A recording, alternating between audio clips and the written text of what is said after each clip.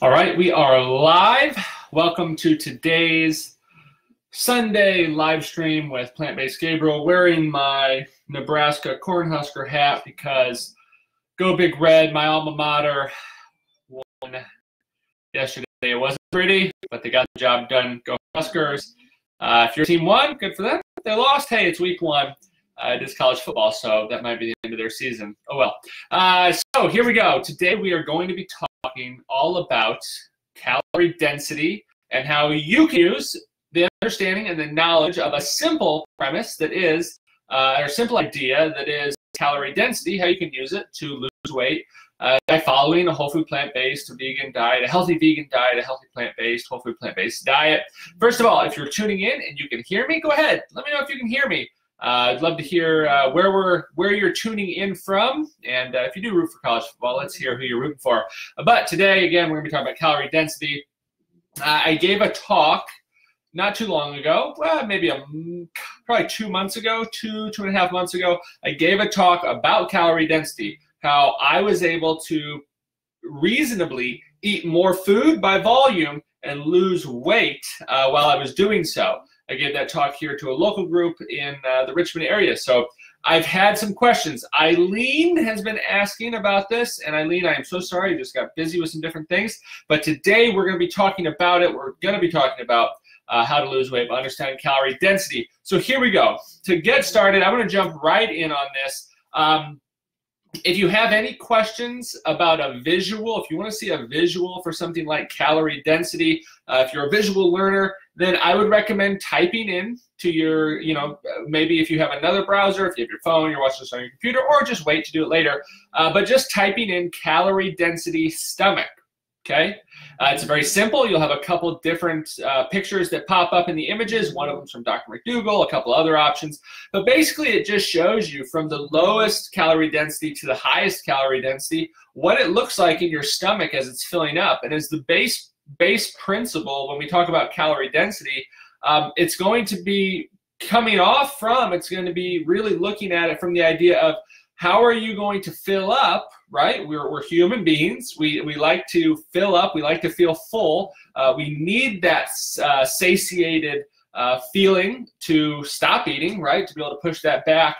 Uh, but how do we do that? By still getting all the nutrients we need of course the vitamins the minerals uh, the calories we need without overdoing it. And now most people if you are like myself uh, maybe you're not like myself. Maybe i'm just the outlier but I grew up in a household of volume eaters, and so it was not uncommon for myself, especially myself and my dad, to go to a buffet with the sole purpose of seeing if we could break their bank account, right? If we could go eat 10 times more food uh, than we were actually we actually paid for when we walked into that buffet right? Which is horrible. It's a it's a horrible premise to live by to eat by uh, but I can tell you there was a certain uh, different. Well, well, right now, right now there's the coming out with a endless feast at one of the um, restaurants that has a seafood in it and uh, starts with a red. We'll just say that.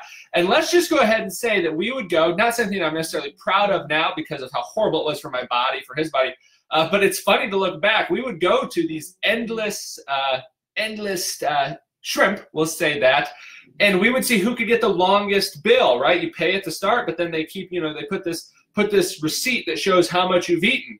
Well, we would see who could have the longest receipt. Crazy, I know, uh, but that's how I grew up. That's how many of you grew up in the standard American diet, the standard American way, standard American way of living, eating, and uh, unfortunately living very sickly in and out of hospitals. So here we go. With that being said, while I was losing weight, I needed to be able to eat food, right? Uh, seeing my mom or uh, my my parents or you know people I loved growing up that tried to lose weight, the premise was always limit something and don't eat much food. Limit something and don't eat much food. That was kind of the you know tr- starve yourself, lose some weight, and then you gain it all back because it's not sustainable to just starve yourself to lose weight, right? We all know you got to have you know some sort of calorie deficit but how can we do it? How can you do it? How did I do it uh, so that I was able to do it su- successfully to where I lost 100 pounds? I didn't just hemorrhage away all my muscles or have, you know, I, I lost fat.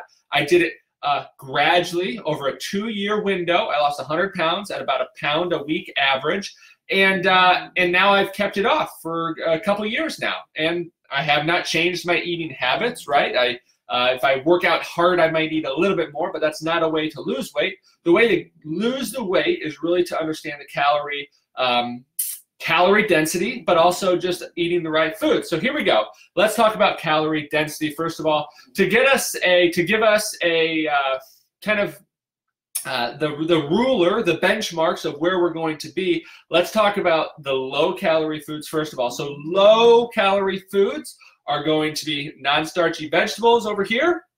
Uh, that includes things like we'll go with bell peppers, uh, hot peppers, but you're not going to be eating a bulk of a diet from hot peppers. Uh, peppers, onions, garlic, uh, things like green leafy vegetables. That's a very common one. Green beans, just your vegetables that don't have a big bulk of calories. I'm not saying to build your diet around them. We're just talking about kind of the two ends of the spectrum here. We're going to be somewhere in the middle for the bulk of our uh, diet, but I just want to kind of give a premise here. So we've got non-starchy vegetables, and then on the other side of things, we have things like oil. Okay, oil is the the most calorie dense food. That's why we talk about uh, no oil in a whole food plant based diet because oil per. Okay, let's talk about this here. Let's talk about this. For one pound, which you're never going to eat a pound of oil, there's 4,000 calories. All right. Now I'm getting some stats here. Um, I, one one really good one is put on by I think Jeff Novick is the one that has it out there. Uh, but so we're talking about oil has 4,000 calories per pound. You're never going to eat a pound of it, uh, but that's a lot. Compare to some non-starchy vegetables like green leafy vegetables, uh, which have a hundred calories per pound. And you're not you're not going to eat a pound of either of those. Uh, but let's talk about this. You are going to eat two tablespoons of oil if you're trying to, you know, if you're using oil. Well, that's 200 over 200 200 calories of something that's not going to fill you up. You're talking about this much, you know, if you talk about a stomach this wide, this much oil in there, not going to fill you up. It's going to feel gross, um, but not something you're going to base your diet around. Same thing with, say, like non-starchy vegetables. You're not going to build a diet around those. But where in the middle do we stand? Because we could talk about things like uh, animal products, right? Let's go here. We'll pop one up here uh, with animal products in it. All right. A th- about a thousand calories per pound. Okay. Eh, you, you know, you, there are people that are doing it, but uh, they're not losing weight. Okay. And they're definitely not helping their long term success. Um, but then there's also things like legumes at about 500 calories per pound, 600 calories per pound. Uh, that's you know that's not something you're going to build a diet around, but that's something we're getting closer.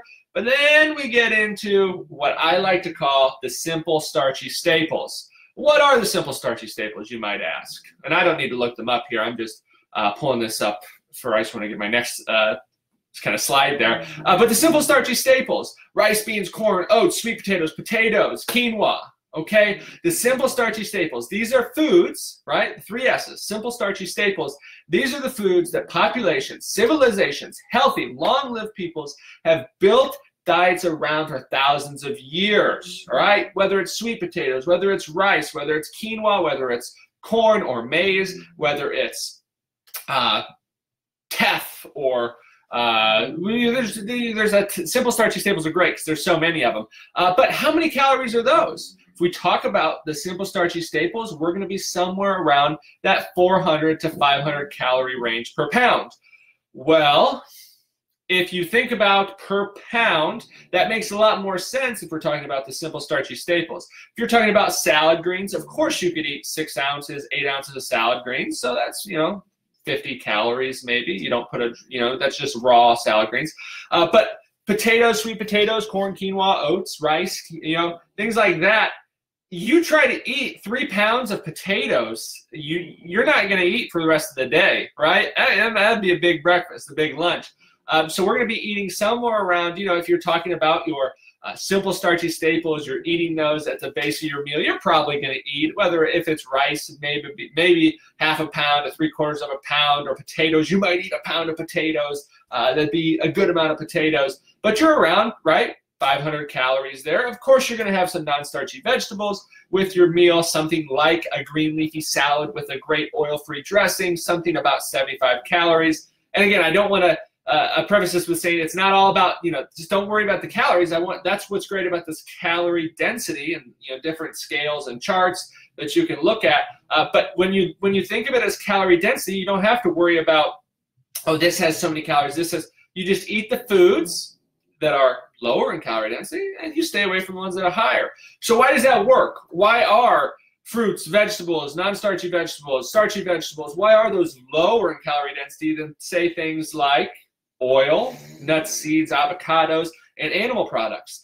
And there's two things. Now you might have guessed it. Well, I will tell you right now if you didn't guess it. Those two things are fiber and water. The reason that calorie density works out so well with a whole food plant based, a healthy vegan diet, one that I've used to lose 100 pounds and many others have used to lose weight, gain, regain their health, and uh, just sustain long term, is because of fiber and water. The things that these simple starchy staples, these non starchy vegetables, starchy vegetables, fruits have in them are rice, or, or excuse me, are fiber and water.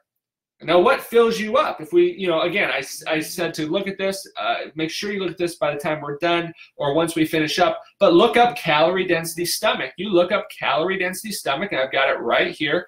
You can see what a stomach looks like that's filled up with rice, beans, potatoes, oats, corn, quinoa. It's a full stomach. It's a stomach that's not going to leave you sitting there wanting another, you know, a, you know, wanting a big, big dessert or wanting something more of it. It's going to fill you up. That's just, it's just the way that your body works. Now, some people might need a little bit more, like myself, right? I was trained in the school of hard of gorging yourself on buffet crappy food. So I might need a little bit more food to fill up. But that's why calorie density is so great because instead of filling up uh, on the foods like say, oil and cheese and meats that are only going to fill up a small portion of your stomach that don't offer any more satiety because the satiety comes from the bulking factor, which is really present in fiber and water, especially once that fibrous uh, material in the water hits your stomach. That's where the real magic happens because it's not it, it's it's not going to bloat you up, but it's going to catch you where you say, oh, okay, you know what? I'm full. No more. I can push away from the table.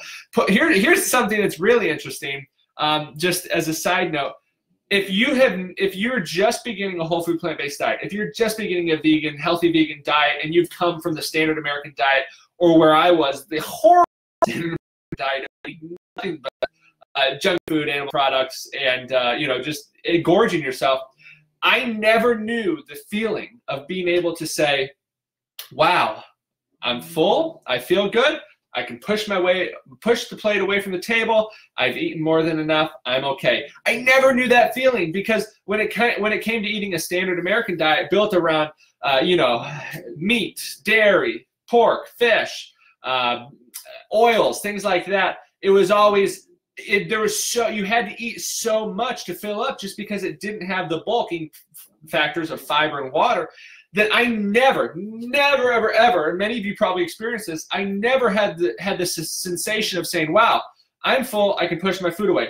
It was always, wow, I ate enough, I feel sick, no more until next meal, right? Hopefully, hopefully my, hopefully my stomach stops feeling like it's going to explode within the next six hours so I have enough room to eat dinner, right? That was a three time a day affair that would happen. And it's something that, here's the deal if you're living in a household with people that are eating the standard American diet, uh, I can say this with my dad, who's now eating a healthy, you know, whole food plant based diet, right? So it's not him.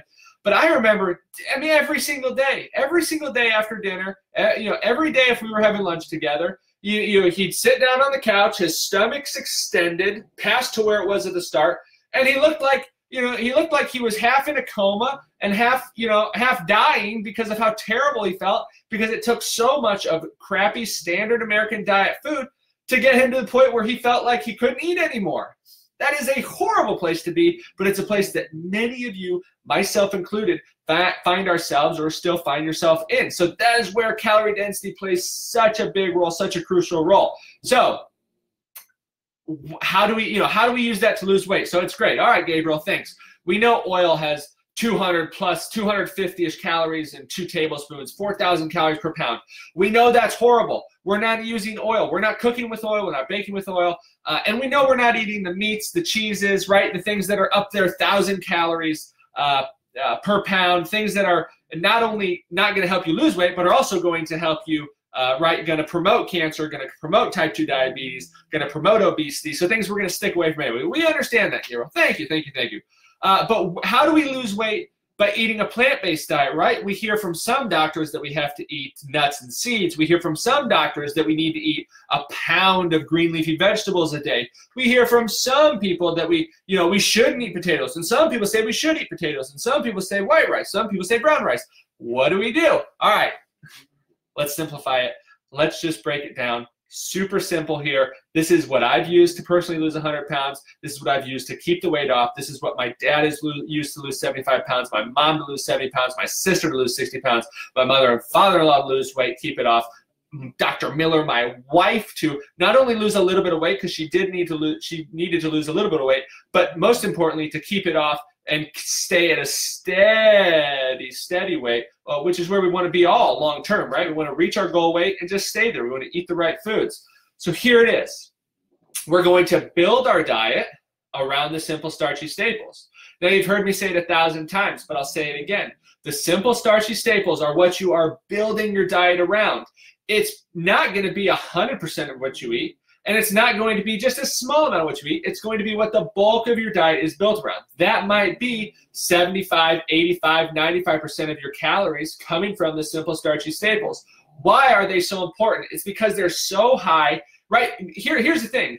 You could technically eat a diet of nothing but green leafy vegetables, and there are some plant-based uh, people, influencers, you know, even physicians that recommend eating, you know, pounds of green leafy vegetables a day try to do that for 15 years. I know zero people that have done that long term that have been able to keep weight off, that have been able to successfully eat nothing but green leafy vegetables uh, only long term. Now, they're very healthy. You should have them in your diet. We're going to talk about having them in your diet, but that's not the bulk of your calories. And then there are some that say you should build up a diet based around nuts, seeds, and avocados because of healthy fats. Well, I know zero people there might be someone out there, maybe an outlier, that have built up the base bulk of their diet long term. I'm not talking about a year or two years, I'm talking about decades that have built the base of their diet around nuts, seeds, avocados, and then added some things in.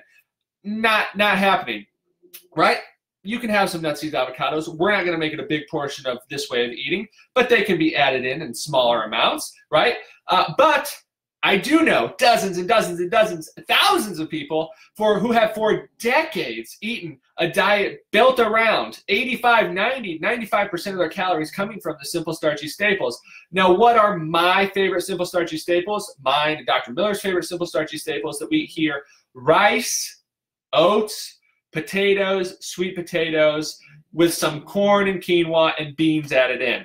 That is the bulk of our calories. That is what we always have cooked. You hear me say it over and over again, but we always have the simple starchy staples ready to go, cooked and ready to go in the refrigerator so that we're never more than 15 minutes away from a warm and ready meal. That might be brown rice mixed with, mixed with some uh, cooked black beans and maybe some sweet corn that we throw some salsa on for a great burrito bowl like we had at the beach yesterday. If you haven't checked that out, check out one of my most recent posts. Uh, it could be brown rice that we just toss in with some frozen veggies. We cook it on the stove top for a few minutes. A simple meal. Potatoes, sweet potatoes that we cook up. Maybe we'll mash them up, put some baked beans over top, or maybe we'll slice them up and make oil-free fries. Uh, but those are the things that we build our diet around.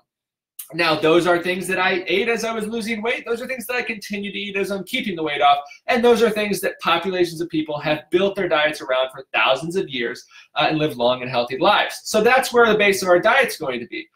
Now that's great. So now where do some of those other things come in? Those plant-based, other plant-based foods, the other whole plant foods. So like green leafy vegetables. I don't have necessarily a, a direct recommendation for green leafy vegetables, but you should eat them right? We'll have a salad a day or we'll have some sort of green leafy vegetable, probably about six to eight ounces per individual a day. That's not a lot. That might be a handful or two of kale, a handful or two of spinach, maybe a nice spring mix salad with some arugula in there. You don't have to get crazy with it. And here's the here's a great thing. Uh, you don't have to include those uh, if you don't like them, right? I recommend it because you know they're healthy and and I do enjoy them. I enjoy a good salad. But if you're just getting started and you absolutely hate it, yeah, don't worry about it. Find another way to get some non-starchy vegetables in. Maybe you really like broccoli. Maybe you really like green beans. Two things that you can find very simply in the freezer section if they're not locally available or found fresh at your uh, grocery store market. You can always find those. Brussels sprouts. You know, there's a there's a ton of these non-starchy vegetables, which are great additions to the diet. Another food or another group of whole plant foods that you want to add into your diet that are also low in calorie density are things like fruits. Now, different doctors and different nutritionists and different uh, people have different recommendations. Uh, we'll just say, you know, Dr. McDougall, as, a, as an example, recommends three servings of fresh fruit a day. What do three servings look like? Well, if you're talking about like bananas, you're going to be think somewhere around one to one and a half bananas, depending on the size of the banana as a serving. A few, you know, three, three or four cups of watermelon, different berries, things like that. Uh, the, the thing is, you're not going to build a diet around those foods. How do I eat my fruit, and how do I make sure that I get my uh, my fruit in? Well, just like everything, I don't make sure I do it. Some days I don't eat fruit. Some days I eat fruit. Uh, it's not I'm not dogmatic about it as long as I'm building my diet and getting all my calories from those simple starchy staples. Uh, but my favorite ways to you know indulge in fruit is through ice creams. I think you would know it if you've uh, watched some of my videos before. But ice creams, you know, two or three bananas blended with some plant-based milk, peanut uh, defatted peanut powder or cocoa powder, or some mint extract. You know, different things like that turns out amazing. You can have fresh fruit in your oatmeal. You can have fresh fruit in a salad. You can have just some fresh fruit as dessert. That's some great options. So those are some lower in calorie density things. Now, here's here is the big the big question. All right, Gabriel, that's great, but I'm eating a lot of I'm eating a lot of those simple starchy staples. I'm eating my non-starchy vegetables, and I'm eating my you know my fruits, but I'm not losing weight. I'm eating a plant-based diet, but I'm not losing weight. What can I do? Well, there's going to be uh, around three things that we're going to look at. Number one is we're going to make sure, make sure, make sure, make sure that we're not having oil because I, I just just talked to somebody who said, you know, I uh, I you know I'm eating a plant-based diet. I cut out oil. I mean, I didn't change anything else, but I cut out oil and I lost 10 pounds in a few weeks. Just nothing else. No, absolutely nothing else. Just cut out oil. And then they said, I wanted to, you know, I, and, and I felt good, but it was just easier to add it back in. And guess what? Put weight back on. Uh, it's, it's magical that way, uh, but it's real magical in the way of how much you can lose and how easily it is to lose once you cut out the oil. So if, if you're still having some oil, you're drizzling a little oil in there, having an oily dressing, you're you know using a little bit of oil here and there, or even if you're using the non-fat spray, which is 100% oil that says fat-free, but it's 100% fat. Um, you need to cut it out. You got to cut it out because that is the most concentrated form of calories on the planet that you are going to put in your body is oil. And the fact that there's so many people in the plant-based or the vegan community that are adamant that you need to eat it is insane because you don't. It's not a healthy food group. Absolutely no one should be eating oil of any kind, all right? Now if you're going to have a celebratory meal once a month or you know, okay, go to a vegan restaurant, whatever. That's not the base of your diet. You're not doing it every day. You're definitely not doing it three times a day. Uh, oil, not a health food. It's a poison food, really, uh, and it's keeping you fat, sick, overweight, and unhealthy. Uh, so cut it out. So, what else could be causing it? Well, the second thing that could be causing it is something that I had to focus on while I was losing weight a little bit, uh, and something I think is going to help a lot. It can help a lot of people, and that is when you think about the simple starchy staples, we think about the whole food ones that I always talk about: rice, bean, corn, potatoes, sweet potatoes, oats, quinoa, um, the whole plant forms of these simple starchy staples. Um, but there's also things that are the little bit more processed form of those simple starchy staples, such as things like breads, bagels, pasta. Okay. Um, those are things that you'll see Dr. Miller and myself eating, right? We're eating healthier versions of it that are oil-free whole grain. Um, sometimes we'll have a organic um, maybe a gluten-free pasta that's not necessarily a whole grain. We're not building our diet around it. But here's the thing: when we're talking about pasta and breads, which 100% are a part, can be can be a part. They don't have to be, but they can be a part of a healthy whole food plant-based diet. But but if you are trying to lose weight, if you are struggling to lose weight and you've cut out the oil, you're eating just whole plant foods, but you're still having some some some pasta and bread, and you're noticing that you're not losing weight, um, or that you've plateaued, or you're not losing weight as quick as you'd like, and you're eating a lot of pasta and bread three or four times a week, that is an easy fix. Something that is just, I mean, it's not it's not a life changer because it's not like it's not like oil where it's 100% fat because the bulk of these calories do come from good things where you've got fiber and you're going to eat it with water. Uh, but if you're eating a lot of rice or a lot, no, rice is good. I don't want to confuse anybody. But if you're eating a lot of pasta and breads, even Ezekiel bread, even whole grain, the most unprocessed pasta around, it's going to be somewhere around a thousand calories a pound, which is double what corn, potato, sweet potato, oats, rice, and beans are going to be at a calorie um, density if you're looking at it from calorie density. So it's about twice as much.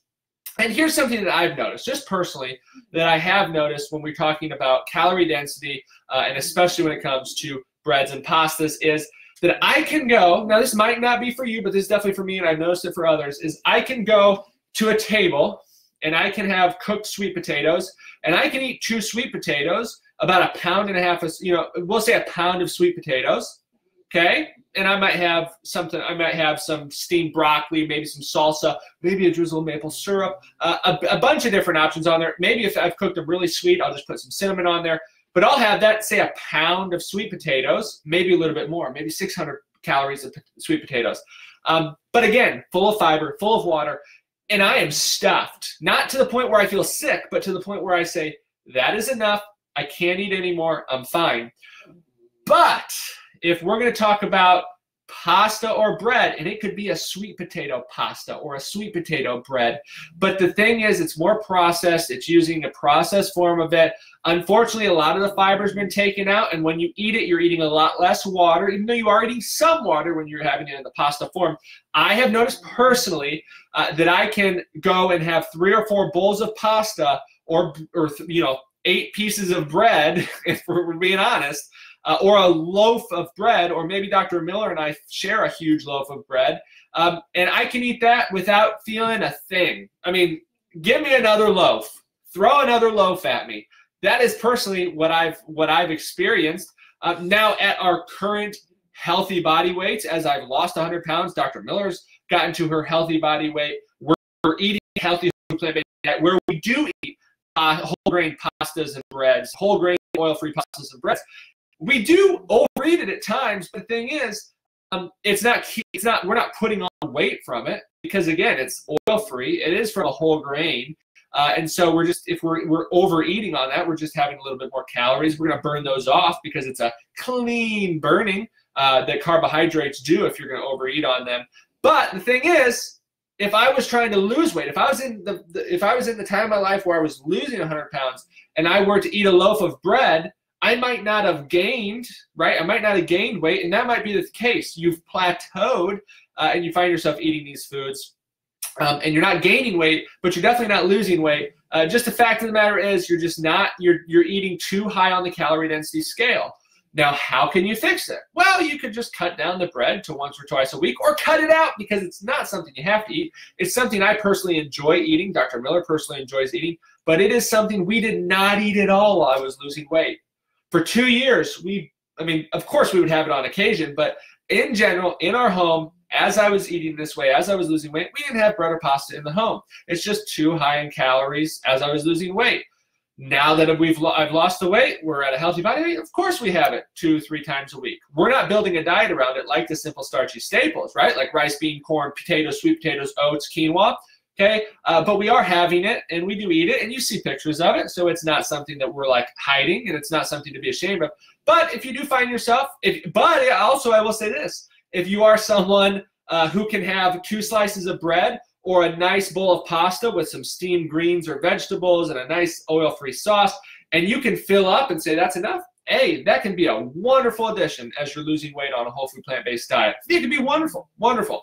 But if you're like me, right, a former professional buffet eater, uh, it's impossible for me to not eat a loaf of bread or for me to not boil up a whole box of pasta and eat it, uh, which is a problem if you're trying to lose weight, as many of you probably know and are uh, experiencing firsthand. So that's just something there. It's not an evil food. It's not something you should ki- you know you should kill out of your diet long term. It's just something that if you're noticing yourself not losing weight or plateauing, uh, just look at the rice or look at the sorry look at the pasta and breads and just say, all right, I'll cut it out for a period of time. We'll see how I do. It has nothing to do with the source of grain that it's from or the you know the legume it's made out of or you know whole grain or, or if it's from wheat or if it's from teff or farina or you know it just has to do with the calorie density of it. It's about a thousand calories per pound double what those simple starchy staples would be. So be careful with it.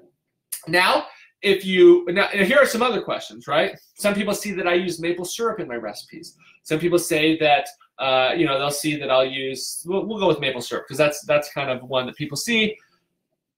Cut it out if you don't want it. You don't have to use it. It is higher in calories. Here we go. Maple syrup, about 1,200. We'll say 12 to 1,500 calories per pound. Not something you're going to eat a bulk of. But if you'll notice in my recipes, we're not eating a pound of it. Uh, and it is from a clean burning source of those carbohydrates. It is more simple uh, but it's not a fat like the oils or nuts, seeds, avocados. It's something that if you, you know, you're, and here's the deal. You use a teaspoon or two of maple syrup or a tablespoon of maple syrup, which would be quite a bit of maple syrup. You're not using a tablespoon per syrup maple syrup. But if you use a teaspoon of maple syrup, uh, you're talking about 10 calories. It's going to be, you know, you're, we're not eating a bulk. We're not building our diet around it. So if you, if you don't want to eat it, don't eat it. But you know, don't you know, you don't have to attack. You don't attack me for using a teaspoon of maple syrup on my oatmeal or two teaspoons of maple syrup on my oatmeal. All right, uh, it's just you, you can you can uh, go without it if you'd like, or you can add it in. You're not. It's that's not going to be the um, whatever that breaks whatever's back. I forget the saying, but you understand what I mean. Uh, let's see here. All right, uh, someone who is someone who is all right. So there was two things, right? So all right, Gabriel, I'm building my diet around the simple starchy staples: rice, beans, corn, potatoes, sweet potatoes, oats, quinoa, and I'm not losing weight. And I'm not also using oil, so that's good. Not using oil, and I've cut out the pasta and breads, or I'm. You know, I'm just having it once or twice a week. It's not, you know, I'm not, or I'm someone who can't, or who's not going to overeat it. All right, great. But I'm not losing weight, and I've plateaued. What should I do? All right, here is the third and biggest one. And now, now I don't want to ruffle any feathers here, but I've had talks. I've been on different podcasts. I've talked to some different experts on it. And here is something that comes up a ton because, uh, you know, whether you want to hear it or not, and husbands and wives experience this uh, ad li- you know, crazy amounts. I, I get messages daily from wives and husbands that have this exact question is to say, one of us, whether it's a husband or wife, uh, partner partner and say, I've I've we've started eating plant based diet now, and I am trying my hardest. I'm focusing in on it, but I'm just not losing the weight. I've plateaued, or I'm losing weight very slowly. But my partner is, you know, he's just started it, but he's just losing weight super easy without even a care in the world. What's going on? Well, here is the uh, here's the paradigm, or here, here's how we look at it. Here's here's normally how it's set up.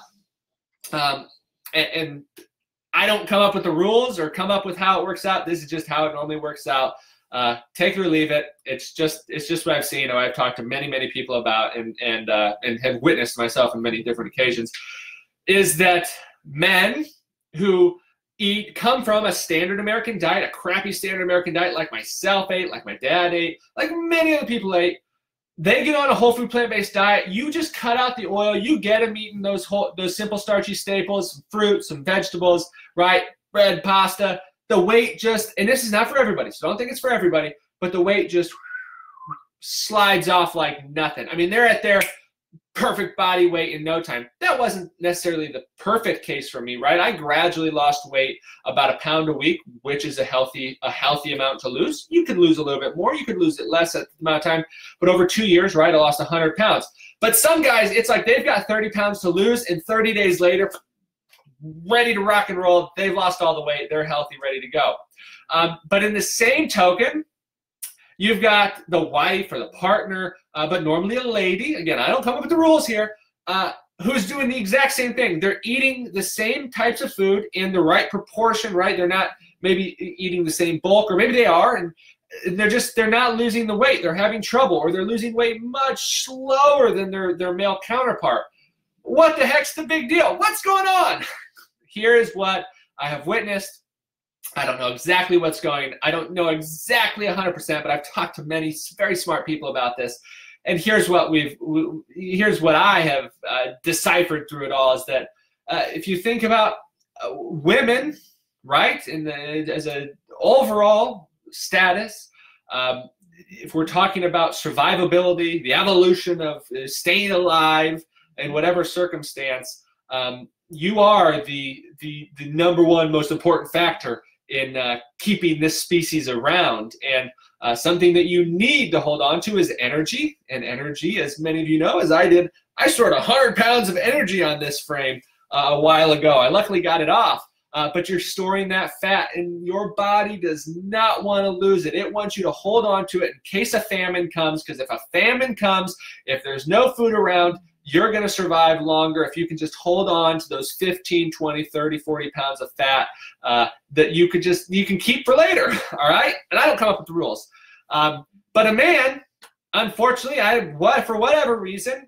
you start eating this healthy way of doing and it's not everybody can just it, that weight just slides off now that's horrible, and I hate that that's the case because some people have much tougher times. I've experienced it in my family. Um, right, my my dad was just he you know you start feeding him the right food and he didn't even blink twice before he started losing weight and feeling better right luckily if even when even if you're losing weight at a slower pace like say like my mom who's who, who is, this is the exact case right losing weight at a much slower pace but feeling so much better getting the same benefits it's just the weight's coming off slower now here are some things now i know that probably wasn't great to hear for everybody and i I don't shoot the messenger. Please don't. That wouldn't be very vegan of you. Um, but here's the deal. If you find yourself in that situation, you're eating a healthy, whole food, plant based diet, you're building your diet around the simple, starchy staples so rice, beans, potatoes, sweet potatoes, oats, corn, quinoa, you're having fruits and vegetables, you're cut, you cut out all the oil, no oil, you've cut out all the oil, you're cutting out the, the pasta and breads, those just a little bit higher calorie plant foods that are about a thousand calories per pound, a little higher dense calorie, calorie density. Um, and you're still not losing weight, you've plateaued, here it is. Now there's some people that have kind of made the formulas or they've you know put in you eat a pound of this and you do here it is. And, and dr mcdougall talks about it in maximum weight his book the dr mcdougall's maximum weight loss. Chef aj talks about it a lot. Uh, many other people talk about it. This is not something brand new. This is just something that could be helpful to you. Um, you're going to build your diet around the simple starchy staples. We're still building our diet around simple starchy staples. Say i have a plate and regularly, three fourths of that plate would be the simple starchy staples, right? Rice, bean, corn, potato, sweet potato, oats, quinoa, right? That's what that three fourths that plate's going to be. The other one fourth would be something like green leafy vegetables, uh, salads, non starchy vegetables like bell peppers, uh, broccoli, uh, green beans, just things like that. Things that are high fiber, high water, but just low, low, low calories. Things you're not going to build your diet around. Uh, but if we're someone, here we go, if we're someone who's trying to lose weight, who's tried, you, we've gone through everything that we've just talked about. Um, if you find yourself plateaued or not losing weight, or maybe you're just really slow, uh, here we go. We're just going to take another portion of those non, you know, non-starchy vegetables, and at the start of our meal, or we're going to eat some more non-starchy vegetables. So maybe that means that five eighths of your plate are starchy, starchy, you know, the simple starchy staples, and the rest is non-starchy vegetables. Here's how I like to do it in the most practical form. I could care less about the volume or weight or a pound of this, half a pound. Here's what you're going to do. Here's what the simplest way about doing it. If you're someone who likes salad, get a bowl that you know is an amount of salad that you can eat easily, not so much that you're going to fill up where you can't eat anything else, but also not so much where you're going to be like, mm, that's you know, not, you know, that's just a little bit of salad. Get a good sized bowl for salad. Okay, if you're a salad eater, find a great not or uh, oil-free dressing, a low-fat dressing, and you're going to have that salad that's built around non-starchy vegetables, which are green leafy vegetables. Okay, and we're going to have that before lunch and dinner. We're going to have two salads a day. Many of you are already doing it. Uh, but here's how I like to do it. I like to do it before the meal for the sole fact that I don't like to calculate anything. I like to just to to put my trust in the calorie density. So here we go. I'm going to have a six ounce, you know, we'll just say six ounces of green leafy vegetables, six, eight ounces, I don't know, go crazy, seven, ten ounces of uh, green leafy vegetables. I'm going to have that salad at the start of my meal. I'm going to eat that salad, which is low in calorie density, but very high in fiber and water. Now, what does that do? That's going to help fill me up a little bit. It's going to fill that stomach up a little bit with that fiber and water. And so, so when I move to my main meal that's built around the simple starchy staples, the rice, bean, corns, potatoes, sweet potato, oats, corn, quinoa. Okay, I said corn twice.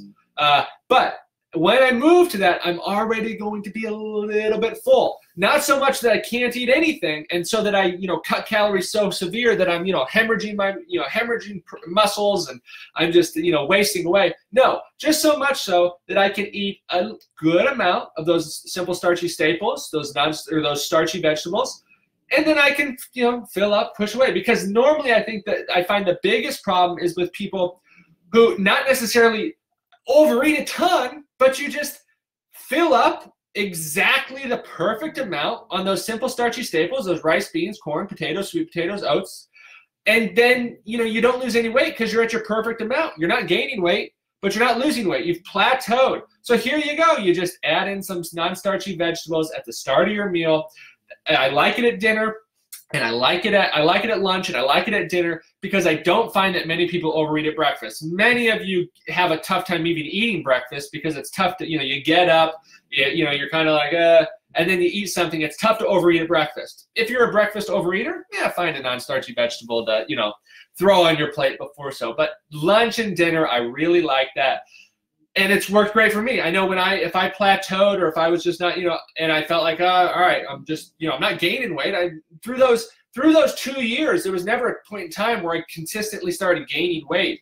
Uh, but there was points in time where I would plateau or I would you know the weight loss would slow down a little bit. Uh, so I would hey I would add in a salad before my lunch and dinner and I just you know start you know it just it would just mean I eat a little bit less of those simple starchy staples which hello people when you reach your perfect body weight, as many of you understand this, and what Dr. Miller, my wife, has found to be so, so great, and myself finding it so great, is that once you reach your perfect body weight, what your body should have been, mine was 100 pounds less than where I was at walking around after I broke my back and my college football career ended. But once you reach that perfect body weight and you build your diet around those simple starchy staples, you'll find that you eat the perfect amount of calories. You don't start fluctuating weight up, down, up, down, up, down, five pounds up, four pounds down, five pounds up, two pounds down, right? And no, you eat the perfect amount of food, you stay the same with reason, and you fill up on the foods that you enjoy eating the rice, beans, corn, potatoes, sweet potato, oats, right? And you just stay the same. I've experienced that for years now. Okay? That's what Dr. Miller's experienced. As she's lost the weight, she lost weight, and she just eats as much as she wants because she fills up because the food that she's eating is lower in calorie density, right? It's around that four to 500 calorie a pound range. She's eating the rice, the beans, the potatoes, sweet potatoes, oats, quinoa, corn. And she's not overeating. She's pushing away and she's able to stay the same weight. And it's that's the magic of it. But if we're someone who's plateaued, adding in those non-starchy vegetables at the start can be a huge help, especially, especially, especially um, and I don't come up with the rules, but if you're a lady out there who's maybe your husband has got on this way of eating and he's just lost the weight quickly, this is something that can help you a ton and can drastically um, just help you. It's not a huge change either. It's just a simple little thing. Um, but here's the deal. Maybe you're not a salad eater. Maybe you say, Gabriel, I can't eat a salad. Green leafy vegetables are my kryptonite. And I was right there. I'm someone who, once I started growing my own food, I started to enjoy those green leafy vegetables a lot more, and now I love to eat them. Uh, but maybe you're, you know, but here's, oh, so here's the question. All right, you're telling me to eat a salad to, you know, how I've plateaued. I'm not losing weight as much, but I hate salad. I can't eat it. It, it comes up as soon as it goes down. It just can't keep it down. Uh, well, here's the deal. You don't have to eat the salad. That's a great thing. You don't have to eat the kale, the spinach, the chard, the salad, you know, the spring mix, the arugula, uh, all those wonderful things. Don't get me wrong. Uh, but here's what you can eat. You can eat the non-starchy vegetables, the broccoli, the green beans, the bell peppers, the carrots. Okay, uh, I'm just naming a few there. There's tons and tons and tons of them. Uh, the green snap, the snap green peas. The you know, here's my favorites. As I was getting started, and as before I was you know big into the salad, there was a couple things that I really enjoyed. I'll just tell you them. I'm not prescribing them to anybody. I'm not saying you have to do this. I'm just saying this might be helpful to you, and here it is as I was losing weight, if I plateaued or I noticed my weight was not coming off, you know, and I was eating the simple starchy staples, I was eating fruits, I was eating my vegetables, I didn't have any oil, I really cut down or cut out the pasta and breads, uh, but I was plateauing, I was eating the perfect amount of calories at the time, but I still had weight to lose, so I needed to eat lower calorie density. Here's what I did. We went to the store and I loaded my freezer up with frozen vegetables. Now, what frozen vegetables did I load my freezer up with? I loaded it up with broccoli and green beans so that I could pull a bag out, 12 to 16 ounce bag, maybe one and a half bags or two bags if I was making dinner for Dr. Miller and myself. I would pull it out of the freezer. If it was a microwave bag, at the time we had a microwave, I might throw it in the microwave. I might throw it on the skillet with some vegetable broth to cook it up. I might put it in my steamer basket. There's a thousand, I might put it in the oven for a few minutes. There's a thousand things you can do with it. And then I would put some no salt seasoning or maybe a little bit of salt on there. I might get a little crazy. I'd throw it on there and I would eat, you know, six, eight, 10, 12 ounces of those non starchy vegetables in the form of broccoli, Brussels sprouts, uh, uh, snap peas, uh, you know, green beans, things like that. You just find the ones that you like. Um, and so I find that I did that. I ate that amount. I enjoyed it. I love green beans. I love, love, love green beans. I like them a little bit overcooked and then some no salt seasoning, maybe a little bit of salt on there. Absolutely fantastic. I'd put some of that on there. I'd eat it. I'd have a bowl of it, and then I'd move to my, you know, my cooked sweet potato, my cooked brown rice, my my corn, my quinoa, my oats, uh, or and here, you know, I might throw it in there with it. Now that is something that you can do. I like to have it a little bit before, so you fill up a little bit, especially if you're someone who's having a big problem with it, uh, with potentially just eating, you know, overeating or having a little, you know, having the perfect amount. But I did that, and that was perfect. Now, as I moved towards the, you know, this, you know, starting to enjoy salads, I of course started having the salads, and I enjoyed that too. Um, but the great thing is, these are all just, you know, they're all healthy things. You're not, you know, one thing that I hear a lot of people, well, I've got a buddy who's doing this diet where he eats bacon and eggs and you know he doesn't know you know he's losing weight he's you know well okay talk to me in 10 years when he's got clogged arteries he's got dementia and uh, you know he's dealing with every other chronic disease that every other person who's basing their diet right it's no different than the standard american diet who's basing their diet around the you know the bacon eggs milk meat dairy uh, it's just you're just eating all of it. Okay, maybe you lose a little bit of weight. Uh, but talk to me when you're dealing with the same problems that those foods uh, present. So the great thing about this, uh, the whole food plant-based, a healthy vegan, a healthy plant-based diet, is that the little things that we might do to change as we're losing the weight are healthy things long term, anyways. Having a salad before lunch and dinner is not detrimental to your health. Building your diet around the simple starchy staples, the rice, beans, corn, potatoes, sweet potatoes, oats, quinoa, is not detrimental to your health. Tell that to the thousands and thousands of people in populations, the millions of people in populations that had lived for thousands of years building their diets around that, living well into their 90s and 100s, healthy, not in and out of hospitals, uh, fighting disease, chronic diseases and dementia. No, these are healthy individuals that are working into, you know, working fun labor, you know, filled jobs, farming. I, I love it. Uh, hopefully, I'm in my 90s uh, and I'm farming still. Uh, but but here's the deal. Let's get back to the simple premise. I hope that helped, uh, ladies and gentlemen. I really hope that helped. If you have any further questions on it, shoot me a message or comment here. I can I will pop on answer questions, and then also if you have any question or if someone else uh, wants to pop in and add their two cents, go ahead. We got all the sense we need right here, hopefully.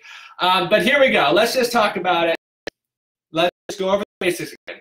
calorie density, if we're looking at the lowest calorie foods, we're going to be non-starchy vegetables like green leafy vegetables, green beans, broccoli, green leafy vegetables. I already said but, you know, kale, kale, chard, arugula, salad mixes, things like that. And we're going to talk about fruits that are going to be, you know, uh, 200 calories a pound. You know, there's different fruits have different calories, but very low calorie things like which. But those two things are great as we're eating a plant-based diet, a whole food plant-based diet. But that's not what we're going to build our diet around. We're not going to, you know, have the base of our diet be those non-starchy vegetables and fruits. No, the base of our diet is going to be perfectly set in there with foods that are full of fiber, full of water, and have a perfect amount of calories so that those three things work together to fill you up without filling you out so that you can lose weight, keep it off long term, and live a long and healthy life.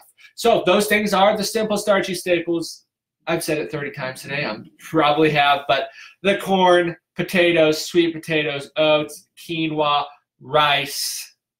I missed one. I might have missed one.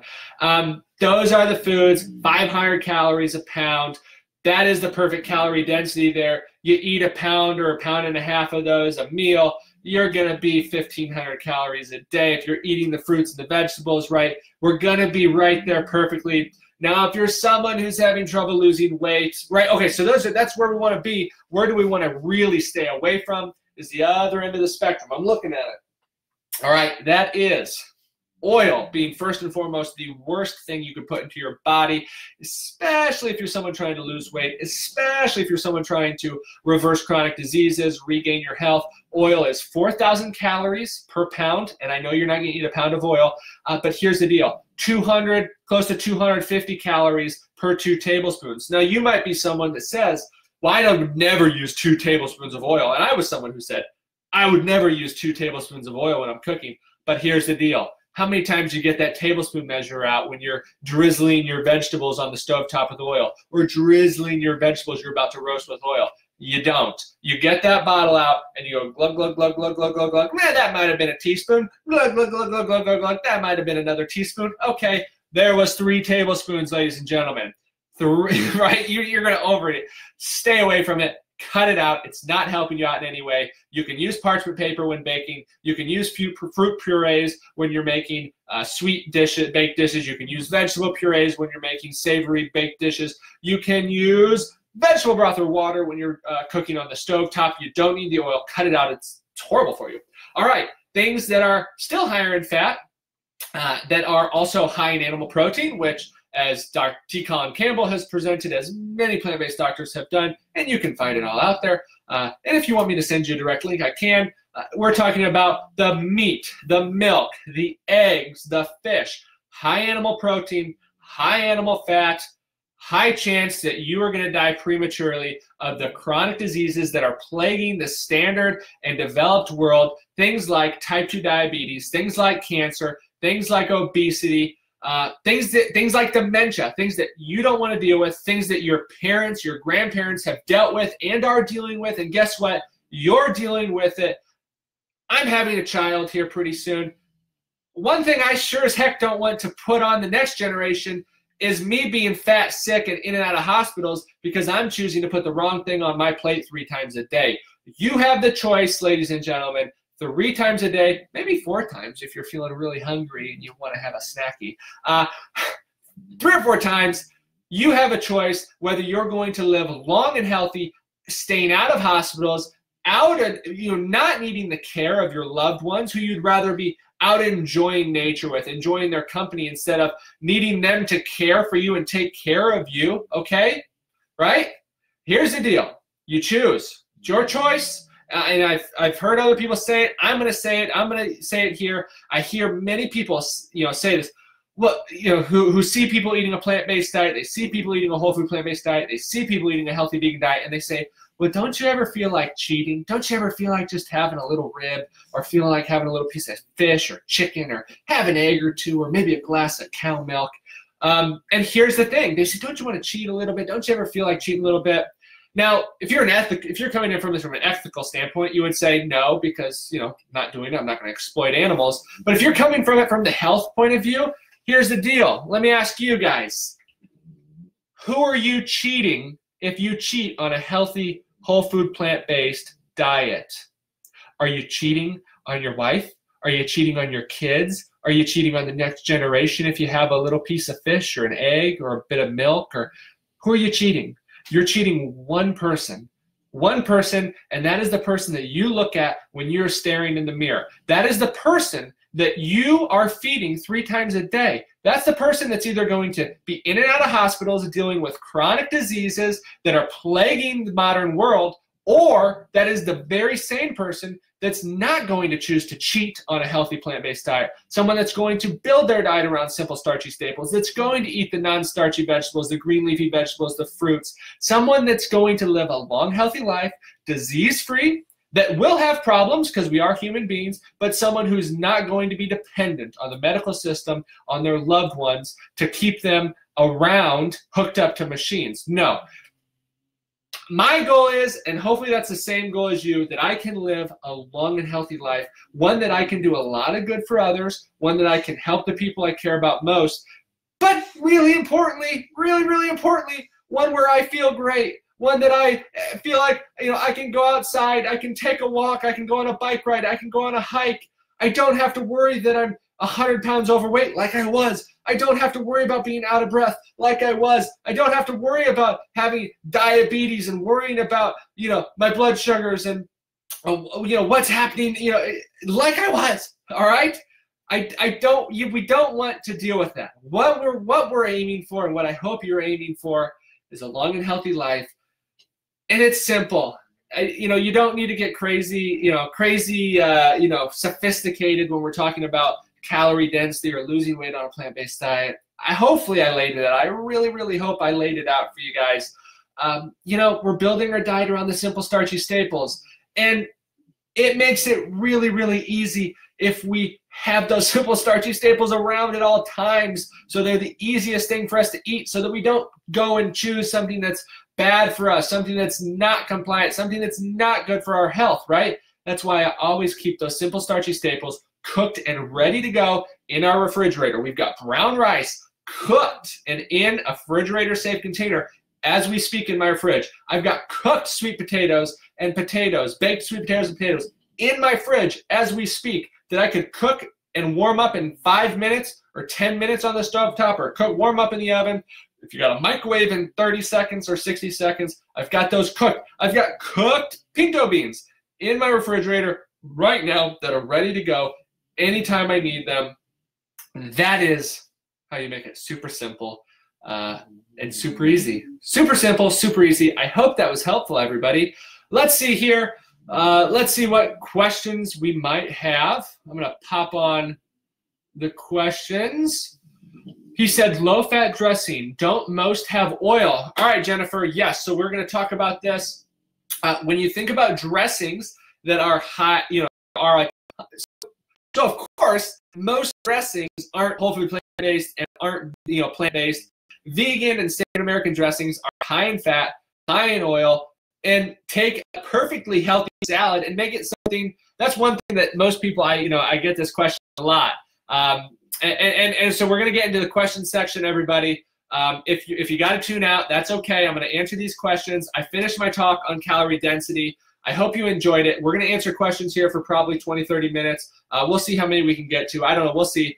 Um, but if you have to tune out now, hey, if you haven't heard already, I love you. I really hope you have a wonderful rest of your weekend. Have a wonderful Labor Day if you're here in the States. Um, and just, just, you, here's the deal. There's two ways that we can, you know, the two biggest ways that I believe that we can change the world around us, that we can create a healthy world around us, one that's not going to burn up and be polluted for future generations, and that is with love and leadership. Number one, number one, you've got to lead the people around you. If you are out telling people how great, I had a talk with someone recently about someone who isn't even eating a plant based diet, but talks about it, you know, you know, overweight, not healthy, but talks about a plant-based diet. If you're not, and that's, and it's not someone who's on the journey to health and losing weight, right? It's someone who just talks about it, has never done it. If you want to change the people around you, you want to make an impact on the people you love most in this world, whether that's your husband, your wife, your kids, your grandchildren, your best friends, your family, your cousins, I don't care who it is, your coworkers. You've got to lead by example. You've got to show them the, the, the glowing complexion that a plant-based, that a healthy vegan, a healthy whole food plant-based diet will give you. You've got to show them that slim, trim figure that a healthy whole food plant-based diet can give you. You got to show them and lead with the energy that a healthy whole food plant-based diet, and I'm not energetic, am I, ladies and gentlemen? Uh, but you've got to show them what that can present, you know, what that looks like. And if you're talking about eating a healthy whole food plant-based diet, but then you're just eating a bunch of junk vegan foods or eating animal products or eating, you know, cooking with all the oil, and you're not glowing and you're not losing weight, you're not feeling better, and you're not moving around being healthier, then you are not doing a service to anybody. So number one, you got to lead. You got to lead. You got to, you got to, you got to, you know, you want to talk the talk, you better walk the walk on a whole food plant-based diet. Number two, you got to love the people around you you start eating this way, you start feeling better. You know, once you start eating this way and you start feeling better, you want everybody that you care about to start eating this way and to start feeling better because then you notice, oh my gosh, grandpa's on every single diabetes and obesity and uh, he's dealing with all these medications and all the side effects. And if he would just eat this way, everything would be better. Or, or you know, little Debbie is, you know, already dealing with obesity. Little Johnny already dealing with obesity. If he would just eat this way, He's already doing better. Well, number one, walk the walk. Walk the walk. You eat a healthy, whole food, plant based diet. You do it long term, they'll start to notice. But second, you gotta love them. Nobody, nobody takes, you know, nobody accepts anything from anyone, advice, if they don't know that you generally care about them. So don't go out trying to change the world first. Don't go out trying to change, you know, the coworker you hate that you just think could deal with, you know, no, change the people that you care about most. You've got to love the people around you, those people you love most in this world. You can have the biggest impact on any of them, right? Love and leadership. Everybody, if you have to head out, that's fine. We're going to answer some questions. If you haven't heard already, I love you. I hope you have a wonderful weekend. Let's get to some questions. All right, to get back to the question about um, the salad dressing. Of course, standard American dressings and uh, just standard vegan dressings are going to have a ton of oil. They're going to have a ton of fat. Some of them have eggs in them, and they're going to be terrible for you. They're going to be high salt, high sugar. Uh, that's why we got to look for the healthy whole food plant-based options. I normally send people to forksoverknives.com and type in dressing, and there's a ton of different salad dressings there. If you don't want to do that, hey, Rose, I'm noticing you right now. I'm noticing you right now. Um, but if you don't want to, um, you know, go there, here's some great options. Balsamic vinegars. You can get a standard balsamic vinegar to throw on salad. You can get a white balsamic vinegar. You can get a balsamic vinegar reduction, normally in the same in most standard grocery stores like Walmart and Kroger, uh, which hopefully most of you have at your disposal, or your, you know, your more high-end markets if you'd like. Uh, those things go great. Now, if you don't love the acid, you, you know, it's too much, you can't stand, you know, vinegars. Uh, well, one, I would say start adding a little bit because you kind of get used to it and you start to enjoy it. Uh, but then, you know, second, just use fruit. You can blend up fruit, strawberries, peaches, apricots, uh, and you just blend them up. You might use a little splash of water in there. Maybe throw a little, if you want it to be a little savory, throw a little garlic, you know, garlic powder in there and you've got a wonderful dressing. And then you come up with your favorite dressing. Or here's another one. You know, I'm just throwing out some examples there. You you know, you can look up oil-free dressings, healthy oil-free dressings or vegan oil-free dressings. You'll find thousands of them. You find a couple you like. Here's one that I really like. Here's one that I know tons and tons of people like, mostly because we're kind of in the same um, groups, so we, we kind of enjoy it. Uh, you know, Dr. Esselstyn, Jane Esselstyn, Ann Esselstyn's talked about the 321 dressing. I know my mother in law loves this dressing. 321 dressing. If you know it, you know it, but here it is. It's just three tablespoons of, well, I think it's, I can't remember, three tablespoons of balsamic vinegar, two tablespoons of mustard, one tablespoon of uh, maple syrup. So it kind of hits that salty from the mustard, sweet from the maple syrup, and kind of the acid that you get from the balsamic. Uh, that's wonderful that goes great on salads. But here's uh, I like to do like three tablespoons of maple syrup, two tablespoons of balsamic, and one tablespoon of mustard. that works great. And that's gonna, and you can water it down if you want. If you find that that's too strong, water it down. That'll make you know be a couple salads worth. So you're not you know just putting that on one salad, of course. Um, but that works great. You find what you like. I really just like throwing on some balsamic vinegar or balsamic glaze, pop it on, maybe toss in a little barbecue sauce, or you, know, you just get creative. But here is here is the key to it, and many people don't understand this. I hear this all the time. I've got to eat my salad, and I don't like any dressing that's not that doesn't have oil in it. Well, here we go, everybody.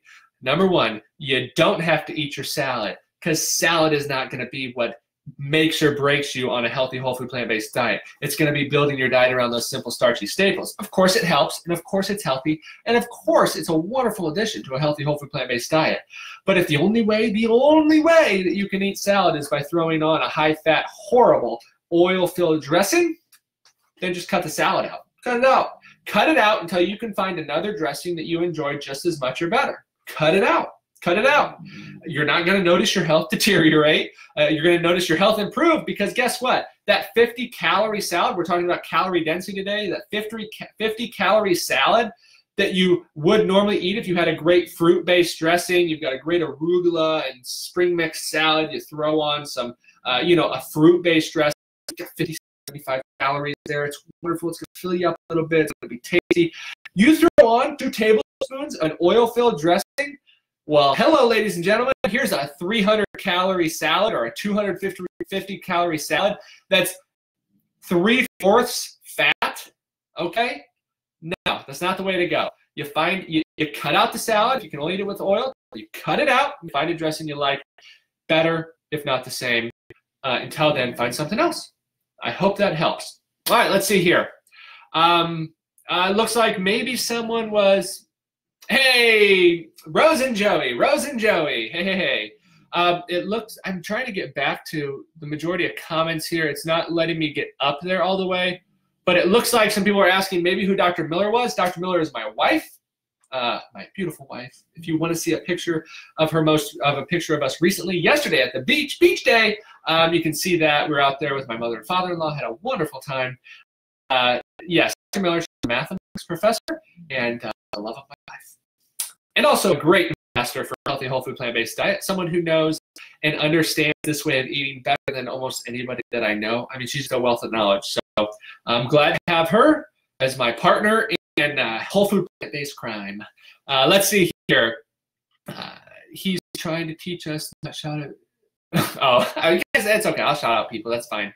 Uh, rose yes uh, God, okay let's see here uh, let's see if you don't like, do you say? If you don't like salads, could you say saute or steam the leafy veg and get the same result? Yes. So that's something I didn't I didn't mention.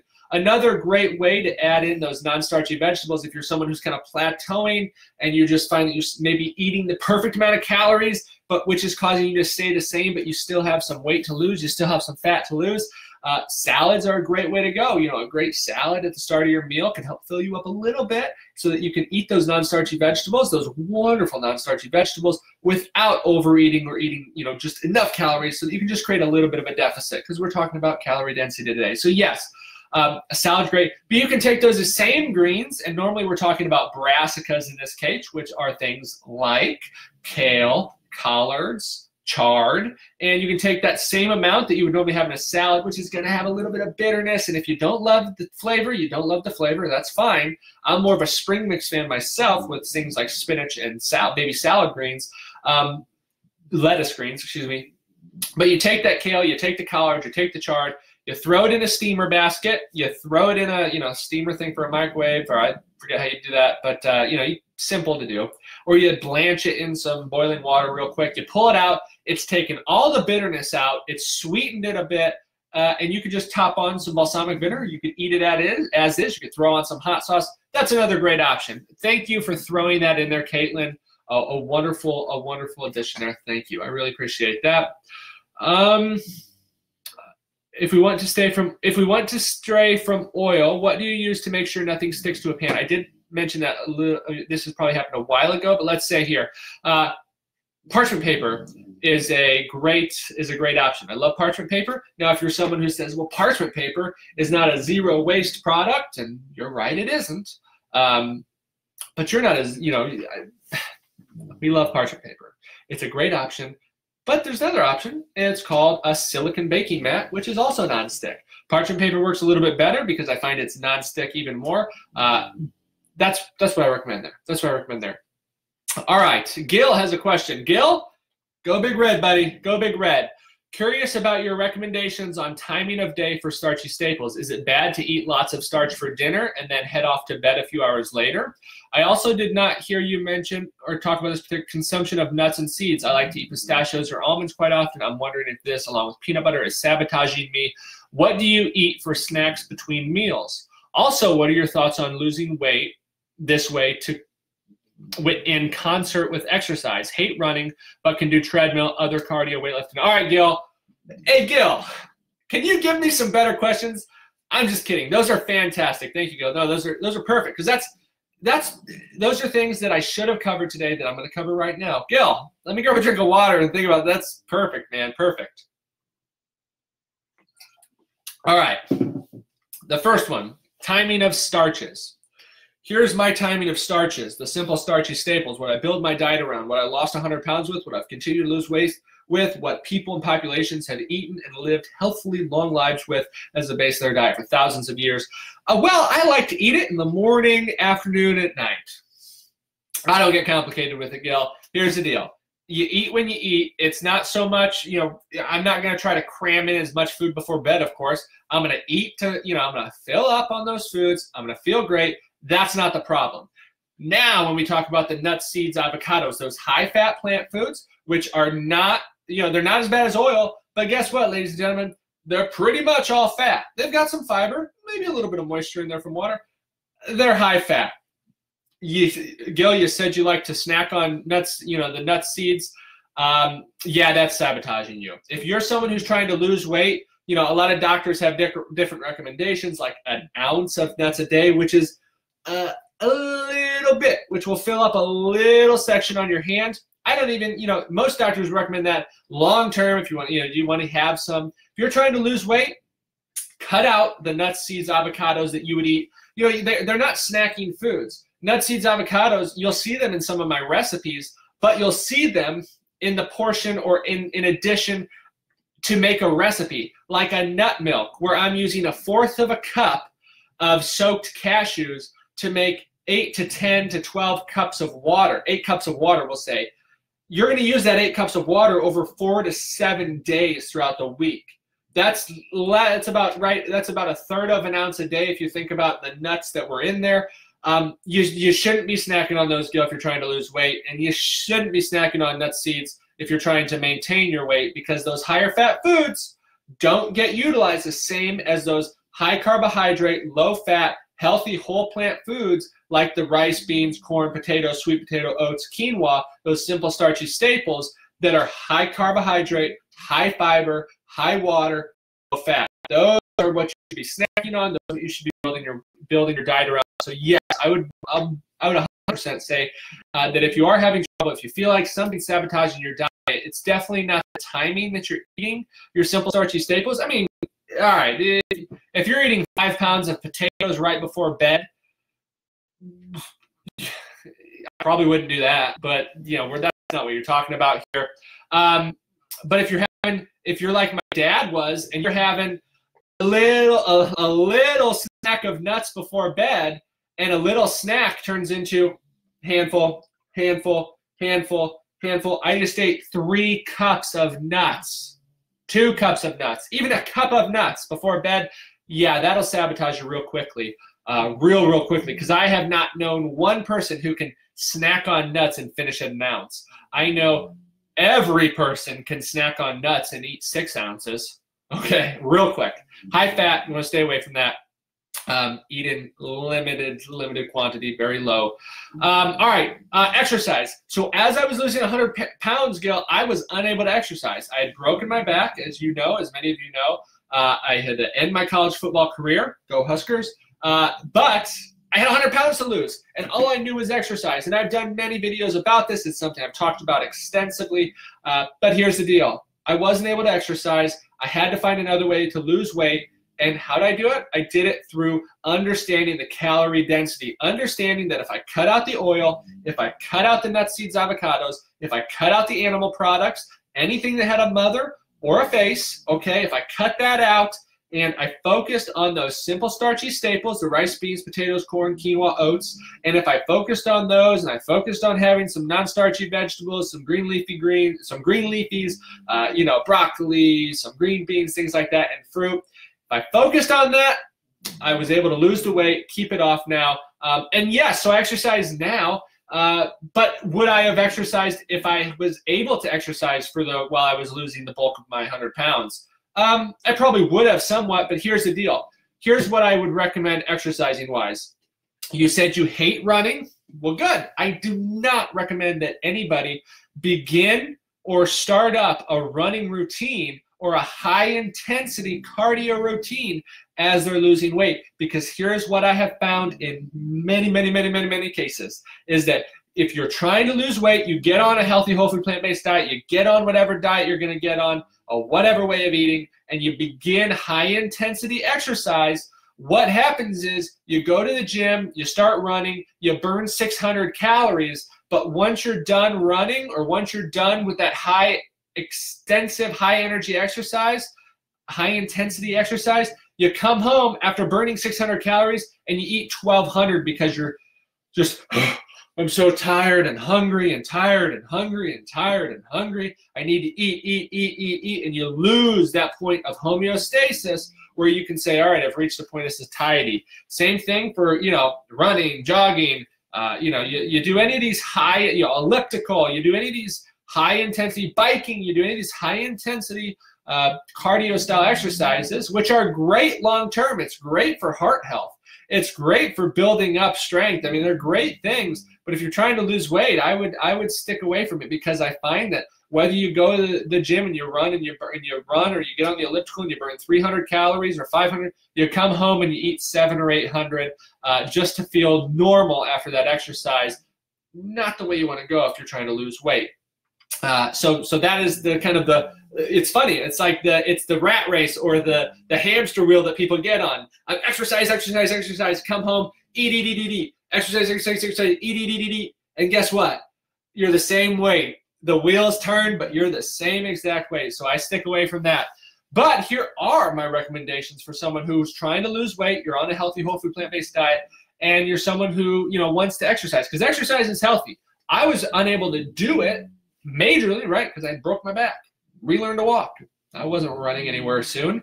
Um, but if you do have the ability to work out, here's what I recommend low intensity exercises, something like walking on a treadmill, walking around a track. That's really the best. That's that's my best. You know, that's my big advice. Do you get on and you walk at right? You said walking, say 3.5 miles per hour, yeah, you go from three to four on there, two to five, two to four mile per hour on there, and you do that for 30 to 60 minutes a day. Here's what I find. If you are on a treadmill, you're walking 3.5 miles per hour is a great example. It's a very easy thing to do. You're not to, you know, you're not breaking a sweat. You're not breathing heavy. You're just moving.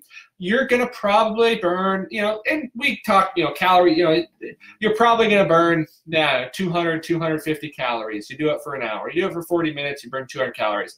May not seem like a lot when you could run and burn 600, but here's the deal. You get done on that treadmill after walking, you get back home to the kitchen, and you're not any bit hungrier. You say, wow, I feel good. I walked, I moved around. I'm not starving. I'm just going to have a normal dinner. You do the exact same amount of time doing high intensity exercises. You get home and you eat everything and anything in the pantry, on the counter, in the refrigerator, in the freezer. That's what happens. Ladies and gentlemen, it happens. It happens. It happens. And it's probably happened to you. So, uh, yeah, if you're going to exercise while you're losing weight, I recommend low intensity, longer interval, because it's not going to create some sort of crazy hunger uh, that happens after you do high intensity exercises. I hope that helps, Gil. Go Big Red. Let's uh, let's beat Colorado. How about that? Brittany, how do you feel about Walden's Farm calorie-free dressings? Well, here's the deal. I, I, think if we're talking about the same thing, the Walden's Farm, uh, you know, whenever a package says calorie-free, but then it has real it has food ingredients that are actual foods. Nothing's calorie free. Um, so I'm skeptical of it. Uh, I would much rather just make my own dressing, like that 321 dressing I recommended. Uh, the problem with dressings isn't the calories, right? A great fruit-based dressing might have is going to have calories in it because it has fruit, but those are great fruit calories, right? It's going to have some fiber in it. It's going to have water in it. It's great. It's great to have.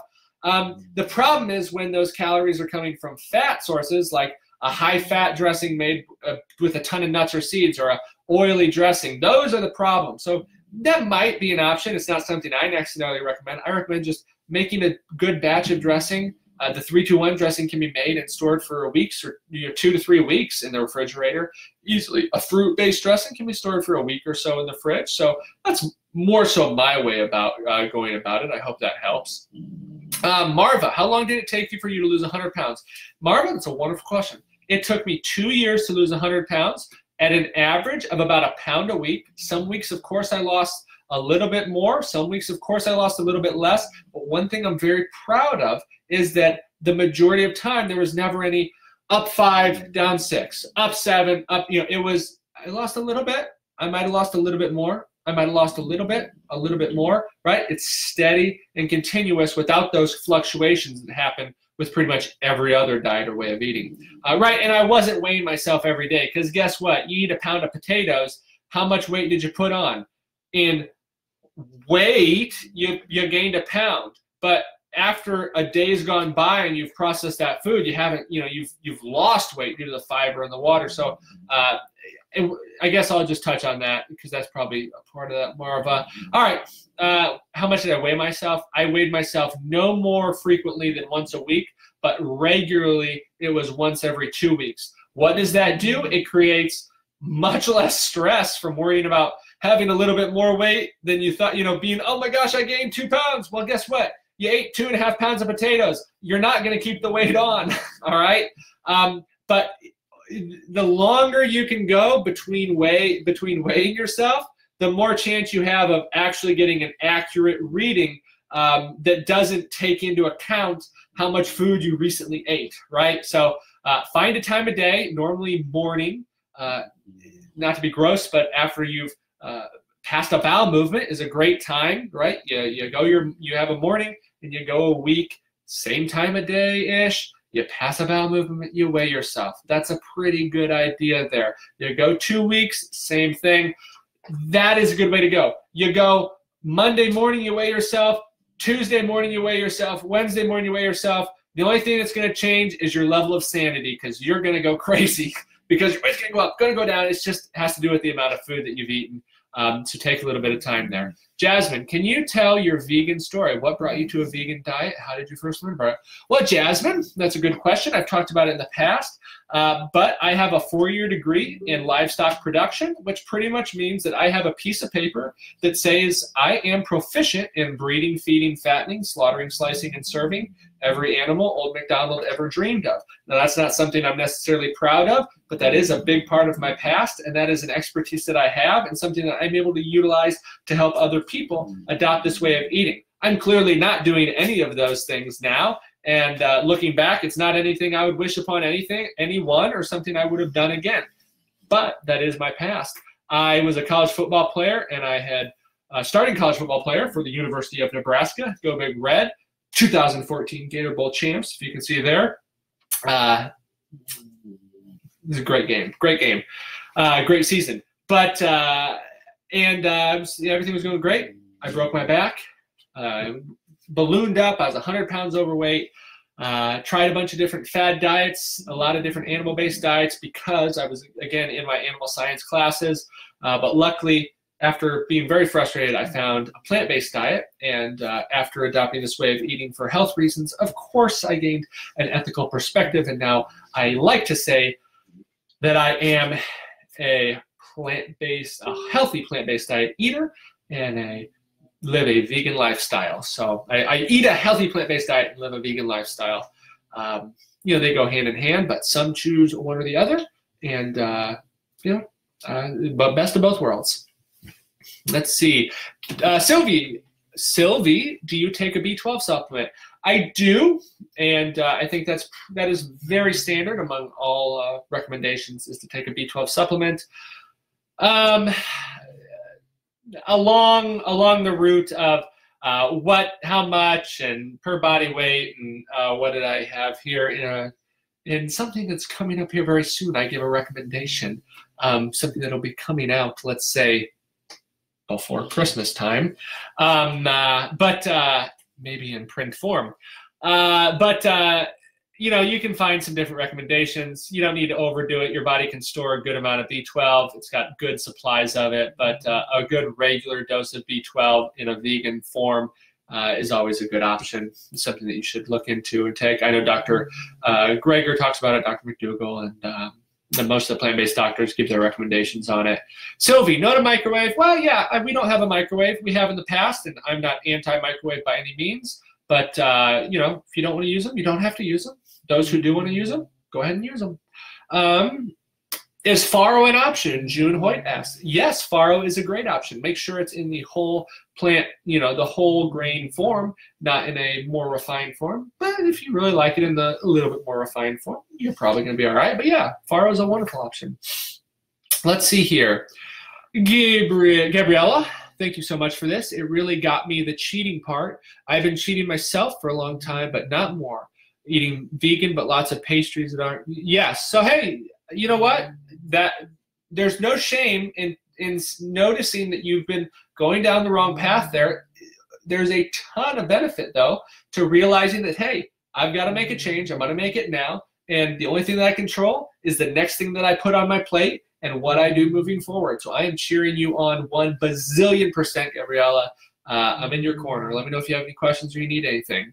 Mary, love your energy. Well, Mary, thank you, thank you. Uh, let's see. Brittany, how often should you should you eat meals and snacks? What time should you stop eating at night? Well, Brittany, those are some good questions. Uh, you know what? Fine, whatever routine works. Because guess what? If someone's working third shift, I'm not going to tell them that they have to eat their meals at times of the day when they have to sleep, or you know, someone's working second shift, or you're, you know, uh, in general, for the general population, breakfast would be eaten best pretty soon after you wake up, right? Uh, or, you know, at a certain, you know, in the morning, we'll say lunch in the afternoon uh, and dinner, you know, nighttime. Probably not right before you go to bed. There is some benefit in eating before, you know, eating a certain amount of time before bed. But guess what? Life gets hectic. Dr. Miller at the university late at night. I'm up doing stuff for you guys late at night and then you know nine o'clock rolls around and we haven't eaten dinner. Well, guess what? We're gonna eat dinner at nine o'clock. So uh, don't don't be afraid of that. Uh, don't you know? Don't you don't need to go to bed hungry. Uh, you can, you know, you're not going to starve in one night.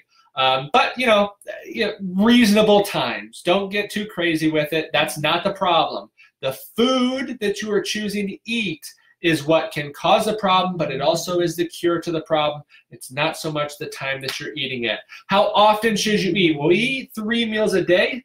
Sometimes I get busy on the farm, I get busy doing something, and I'll eat two meals a day.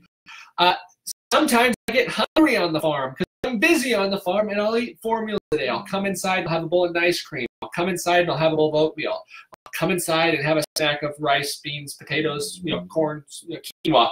Uh, the key is when you think of a snack, I don't want you to think of cookies, candies, and cakes and fruit snacks. I want you to think of snacks as just a smaller, healthy, whole food, plant based meal built around simple, starchy staples that you're going to eat at not the three times a meal that you have your, your main, your three times a day that you have your main meals. That's all a snack is don't don't overcomplicate it. Just have some more rice. Have a bowl of rice. Mm-hmm. Dr. Miller's favorite snack in the world is a bowl of brown rice with some hot sauce on it.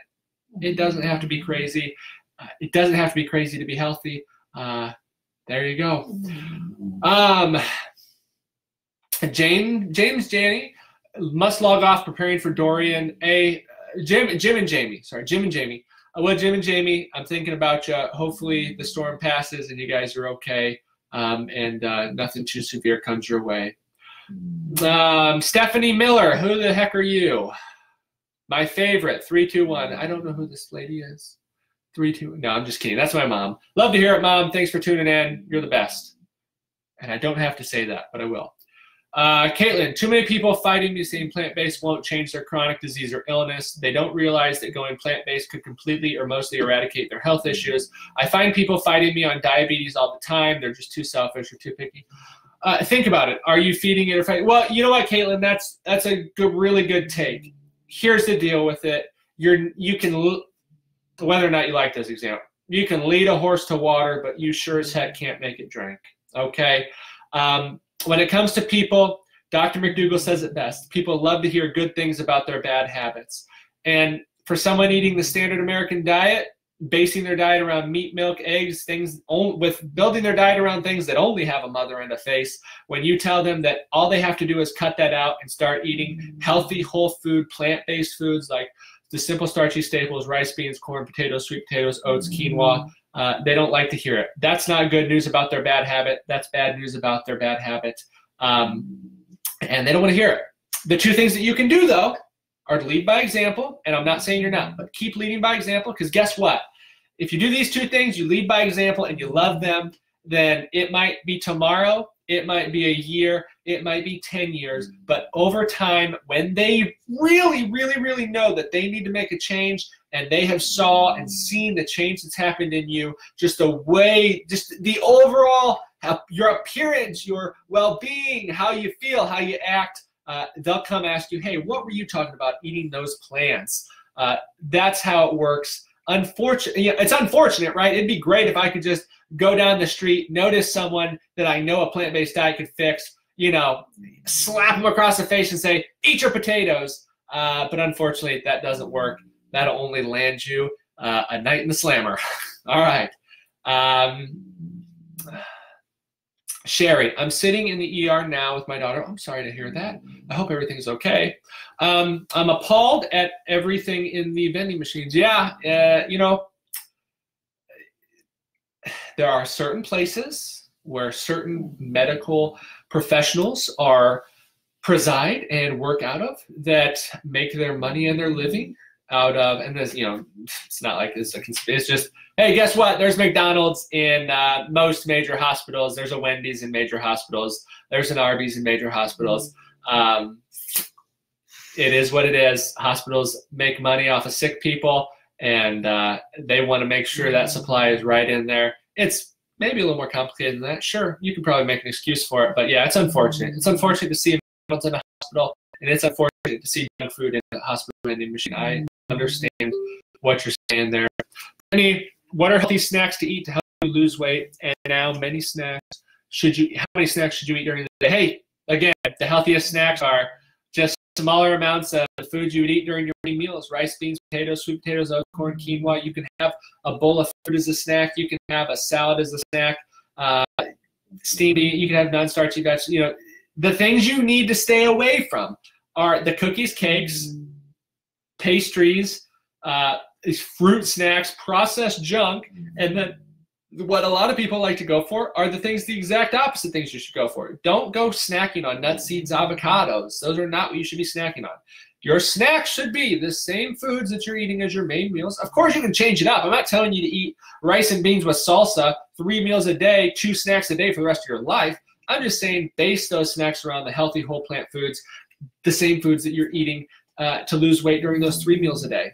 I hope that helps. Uh, of course, you can you know you can change them up and do fun things. You know, we've got an air fryer now. Some fun thing I like to do is take cooked chickpeas and toss them, you know, dry them off a little bit, and then ta- put them on the air fryer basket and just crisp them up. You know, they're a fun, crunchy snack.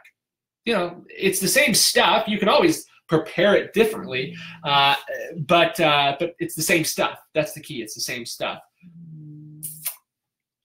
Caitlin, I had asked earlier if frozen veg is better than canned, even if I'm purchasing the no salt added varieties, the quantity, the quality of frozen beans versus canned look different.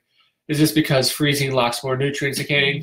I love buying canned chickpeas for the aquafaba. Well, first of all, Caitlin, if you love aquafaba, you get the exact same aquafaba if you just cook chickpeas in the instant pot on the stove top um, in a pressure cooker in a slow cooker, things like that. So aquafaba is not some magical thing you get out of canned beans. You can get it, but just by cooking beans.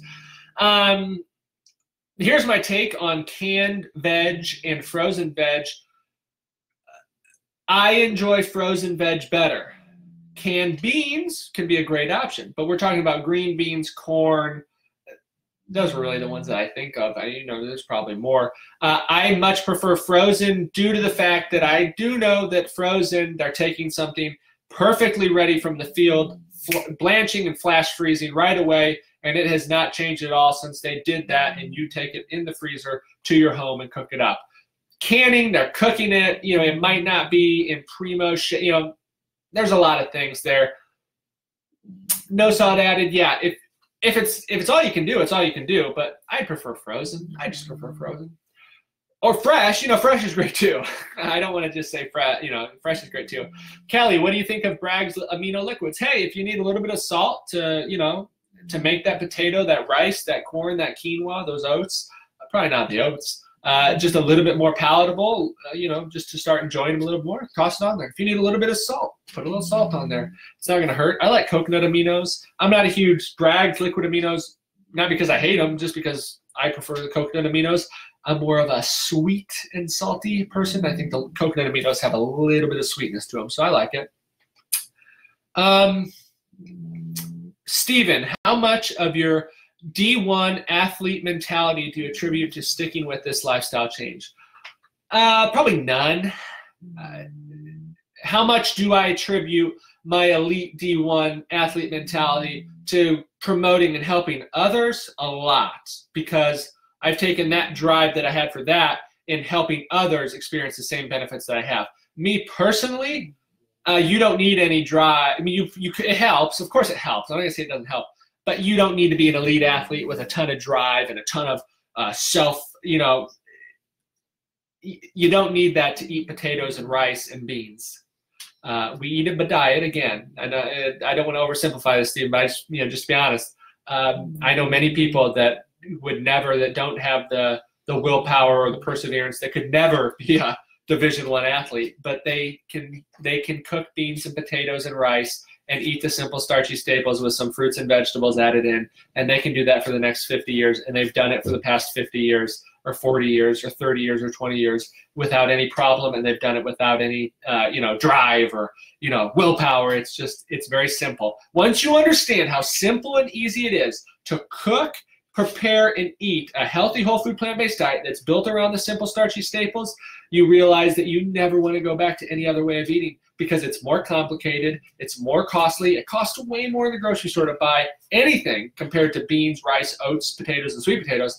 Uh, and it's just less, you know, it's not as healthy, clearly. So yeah, it's uh, the mentality has helped me in helping others, but not so much helped me in helping me, I would say. Uh, the opposite, the the fact that I enjoy also being laid back and making things simple and uh, more lazy. Uh, you know, lazy is not the right term, but uh, a more lazy way of eating and living uh, is perfect. You cook rice, you cook beans, you cook potatoes, and you eat them. It's simple, simple, simple. let's see. Guinea or Ginny? Either one. Been follow. I mean, I respect whatever one it is, but I'm not sure how to pronounce that. Is what I'm saying.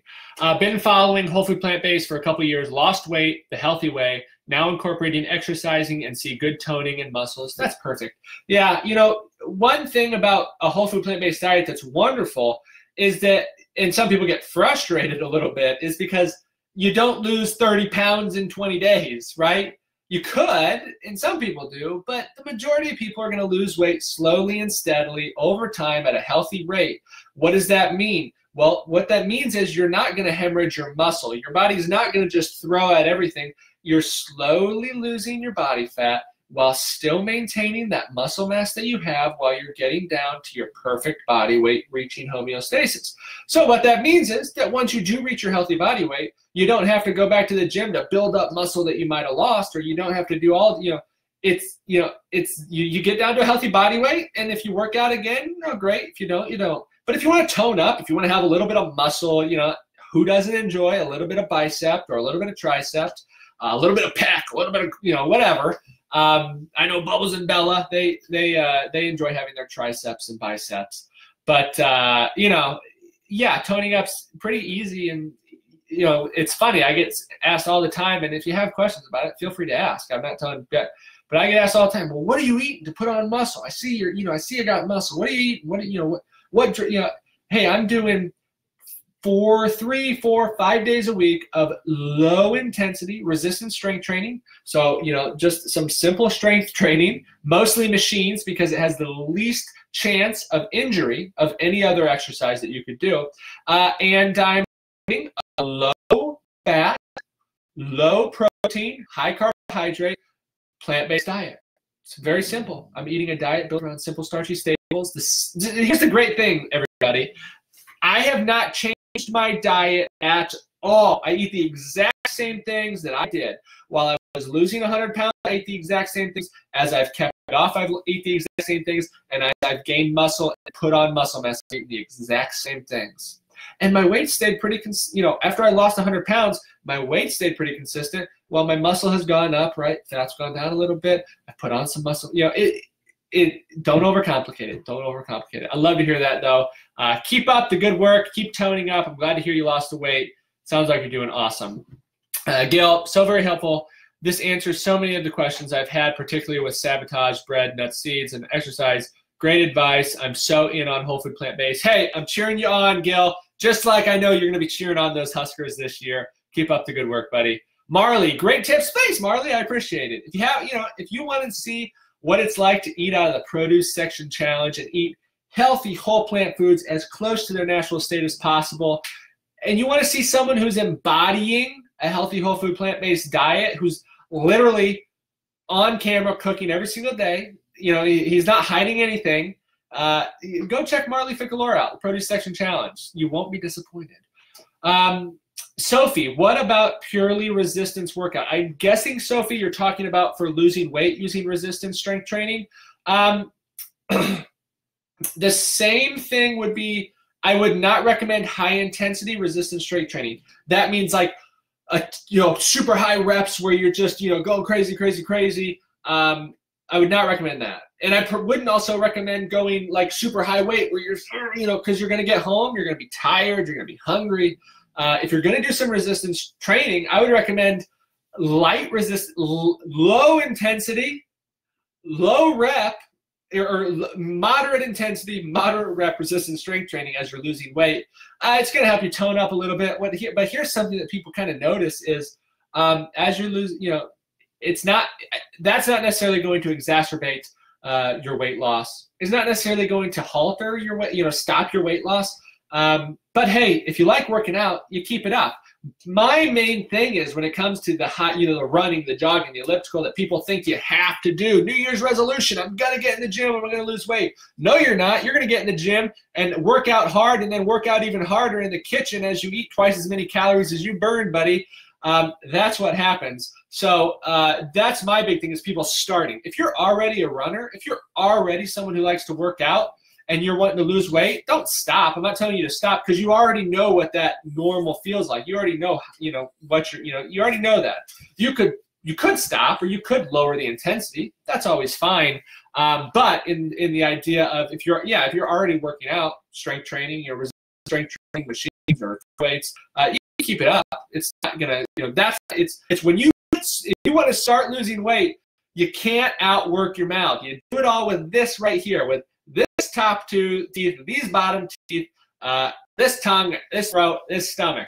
That's how you're going to lose the weight. It's not going to happen by the gym next door, the bike, the elliptical, the treadmill. That's not how it's going to happen. Uh, it can help, but it's not going to happen just through that. So, of course, yeah, do some resistance strength training if you want. What is the 321 dressing? Emerson is asking. All right, Emerson. Sorry, I'm just checking here. Uh, we have to go through some questions pretty quickly, everyone. If I don't answer all of them, I'm so sorry. Please forgive me. I'll go back and try to answer them myself, just typing. Uh, or if there, you know, if there's something that I think a lot of people are asking, we'll cover it in another one. Just like Eileen, uh, uh, you know, she was asking for this video, so we made sure it happened. Um, three, two, one dressing. Type into Google three, two, one Esselstyn dressing because I'm not 100% sure which one's three, which one's two, which one's one. I think it's three balsamic, two mustard, one maple syrup you'll correct me if I'm wrong. You can do it in tablespoon, teaspoon, or tablespoon, teaspoon, tablespoon, uh, you know, just you know, three parts, two parts, one part. Um, let's see here.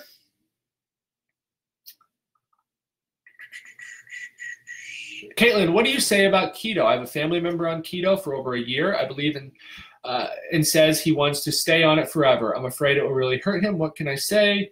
Uh, he says he mixes up intermittent fasting with keto and carnivore diet. Well, again, you're not gonna. You can lead a you know horse to water, but you're not gonna get him to drink. It keto can produce short-term results, but unfortunately has long-term consequences. The great thing about a plant-based diet is it may have a little bit slower short-term results, but those short-term results long-term result in healthy outcomes uh, instead of unhealthy outcomes. So, uh, what can you say? You know, Dr. Greger, Dr. Campbell, Dr. McDougall, Dr. Esselstyn uh, have all put things about the, you know, you're not, again, you're not going to change anybody's point of view. Um, but when that person, uh, he, when he, uh, you know, experiences what everybody else experiences long term with it, is that it's unsustainable and the weight starts coming back on or chronic disease starts to set in. Unfortunately, I'm not wishing this on anybody, but guess what? Uh, you walk the walk, you're gonna you know you know you talk the talk, and you you start walking the walk with something like that. Uh, you're gonna deal with the deal with the consequences of it. Um, yeah, you can find different things that the doctor said. Basically, you know, why would you why would you give up long-term health for a few short-term you know why pretty much everybody in the standard american medical system right we, we take pills and potions and uh, for short-term benefit benefit uh, only to lead us to long-term harm. So he's not un, you know, uncommon. Uh, it's very common. And the big, big thing is lead by example. You keep loving them. You keep showing them this is the good way to go about eating. And when that problem comes up, uh, whether that's uh, you know pre-diabetes, type two diabetes, you know whatever happens, you can be the first person to say, or you'll be the first person that he comes to and says, "Hey, you know what? I know you've done this for a long time. You've seen you've seen the benefits uh, of a plant-based diet. Help me out." That's what I would recommend. It's only a matter of time. I don't know how much time, uh, and hopefully it happens. Um, you know, the sad thing is, I think the stat is 40%. Correct me if I'm wrong, but I think it's 40% of first time heart attacks end in death. Even if it was 10%, which it's not, it's way more than that, but even if it was 10% of heart attacks end in death, but 40% of heart attacks end in death, right? First time heart attacks. It happens and you think, oh no, maybe I should eat more vegetables. Gone. I hope that's not what's going to happen. You know, I'm not wishing that on anybody, uh, but that's a matter of the fact. Uh, the quicker and sooner you adopt a whole food plant-based diet, the quicker and sooner you can lead and love others to a healthy whole food plant-based diet, the better chance they have of reversing chronic disease and staying away from it forever, forever. All right. Uh, Brittany, how do you feel about plant-based probiotics? Nah, don't worry about it. You know, no, I don't. I don't have a feeling for them. I don't use them. I don't recommend them. Uh, you, you're, you know, the prebiotics and the probiotics that your body is going to be getting from those whole plant foods that you're eating, those fiber, resistance fiber, the starches, is it's, it's, it's what the body's lived and thrived off of for thousands of years without um, a corporation or company making a million bucks off of selling it. So uh, that's what I would recommend. Uh, Cindy, I love your simplicity with diet recipes. Thank you, Cindy. Simple and easy. That's my big thing. Mm. Uh, Katrina, I adore the fact that you tell people the truth about how horrible animal agriculture really is. There is no such thing as humane slaughter. Yeah, I, you know, those are all. It's it's sad. It's unfortunate. Um, and the only, you know, the two biggest, the way, if you want to change the world around you, you want to change the people around you, you've got to lead by example. Show them how healthy and how great you feel and how the weight's fallen off on a healthy whole food plant-based vegan diet and then just love them and those are those are two ways i hope that helps. Um, jennifer i got on this because of dealing with lupus and fibro since my mid-20s now in my mid-40s my body is just devastated by the lupus and i'm on this with my doctor's approval i wish i had heard. Uh, jennifer i would recommend if you're a lupus patient i would recommend checking out a couple things. Um, number one i would recommend checking out just typing in or looking up lupus, Dr. McDougall, or uh, look up autoimmune disease, Dr. McDougall. He's got some great information out there uh, and some great resources. Also, Brooke Goldner. Dr. Brooke Goldner is a good resource for those with lupus. Now, we would disagree on a few things like the the need for smoothies and green smoothies, uh, I would say that you get to you know they might they might it might be a benefit, but I think uh, I think we'll all agree that the bulk of the benefit and where you're going to get the major improvement is going to be from building your diet around the simple starchy staples and then adding in the fruits and vegetables, keeping it as simple as possible. Um, and uh, you're going to do your body good. You're going to do the body good. So I would recommend those two resources out, Jennifer. Sherry, at least I can, you can get a yeah. There's some great fast food places that serve whole plant foods. You know, you're going to pay 50 times for what more than you could get them at home. But yeah, if you're out, you're in a pinch, there's some good options out there. Um, uh, Emerson, I love fried portobello mushrooms cooked in grapeseed oil. What's your mindset on the vegan mock meats? All right, Emerson, today we're talking about calorie density. Oil is 4,000 calories per pound. It's the most calorie dense food, the highest fat food that you could consume on the planet, and it is pretty much a poison to the body. I don't recommend using oil of any kind. Some studies have gone out, some research has been done on the different oils, right? Healthy, healthy oils, a grapeseed oil, olive oil, coconut oil compared to corn oils and uh, mixed vegetable oils. And, and, guess what? They all react the exact same in your body. Uh, they're just not healthy. So oil, cut it out. Uh, what's my mindset on vegan mock meats? Most of them are made using uh, isolated protein or protein isolates, which are not healthy. They're very hard on the body and the organs, uh, and then uh, they're full of oil. So again, the, so my mindset on them is is they they I wouldn't eat them and, and I wouldn't build my diet around them. Now, if you're going to go out for a celebratory meal to a, a local vegan restaurant once a month or once you know a couple times a year then that's you're not you know you're you're not gonna that's not going to to do you in uh, so that's the thing. But if we're talking about on a daily basis, adding foods in as a staple of your diet, no, those two things do not jive. Um, let's see. I'm sorry if I'm not asking everyone. Rose, do you have or use an Instant Pot? Yes, we have a six quart uh, Instant Pot Duo. We use it two or three times a day, probably. We love it a lot. Um, I'm glad to hear you're using it. Um, all right, everybody, let's answer two more questions. Hey, uh, Tatiana. Hey, yeah, I've been vegan for three years and have gained rather than lost weight. I'm starting and getting back into the gym now, doing intermittent fasting, cutting out sugar, and trying to get rid of carbohydrates. Any tips? Sorry, Tatiana. Yes, uh, a vegan diet is not a diet that is built for losing weight. Contrary to many people's beliefs, a vegan diet's not gonna you're not gonna lose weight just eating a vegan diet. You are going to lose weight eating a healthy whole food plant-based diet that is vegan. I tell people I eat a healthy whole food plant-based diet and I live a vegan lifestyle, right? I do no harm and that includes to my body. So so yes, a vegan diet can be is uh, a vegan diet is healthy, uh, right? It's healthier, but we're talking about losing weight, we're talking about reaching our maximum potential when it comes to weight loss. We're really going to be looking at building a diet around simple starchy staples. Now, if you just tuned in, I want you to go back and either start from the start because we're talking about calorie density, or I want you to go to some more of my videos that talk about uh, not losing weight on a whole food plant-based diet or getting started on a healthy vegan or whole food plant-based diet. Those are great resources that I would really recommend. But here's the deal. We're going to build our diet. I don't want you to worry about, yeah, you can cut out the processed sugars and, uh, you know, you talk about empty carbs, but that's not really a food. That's not really a food group. Here's what we're going to build our diet around.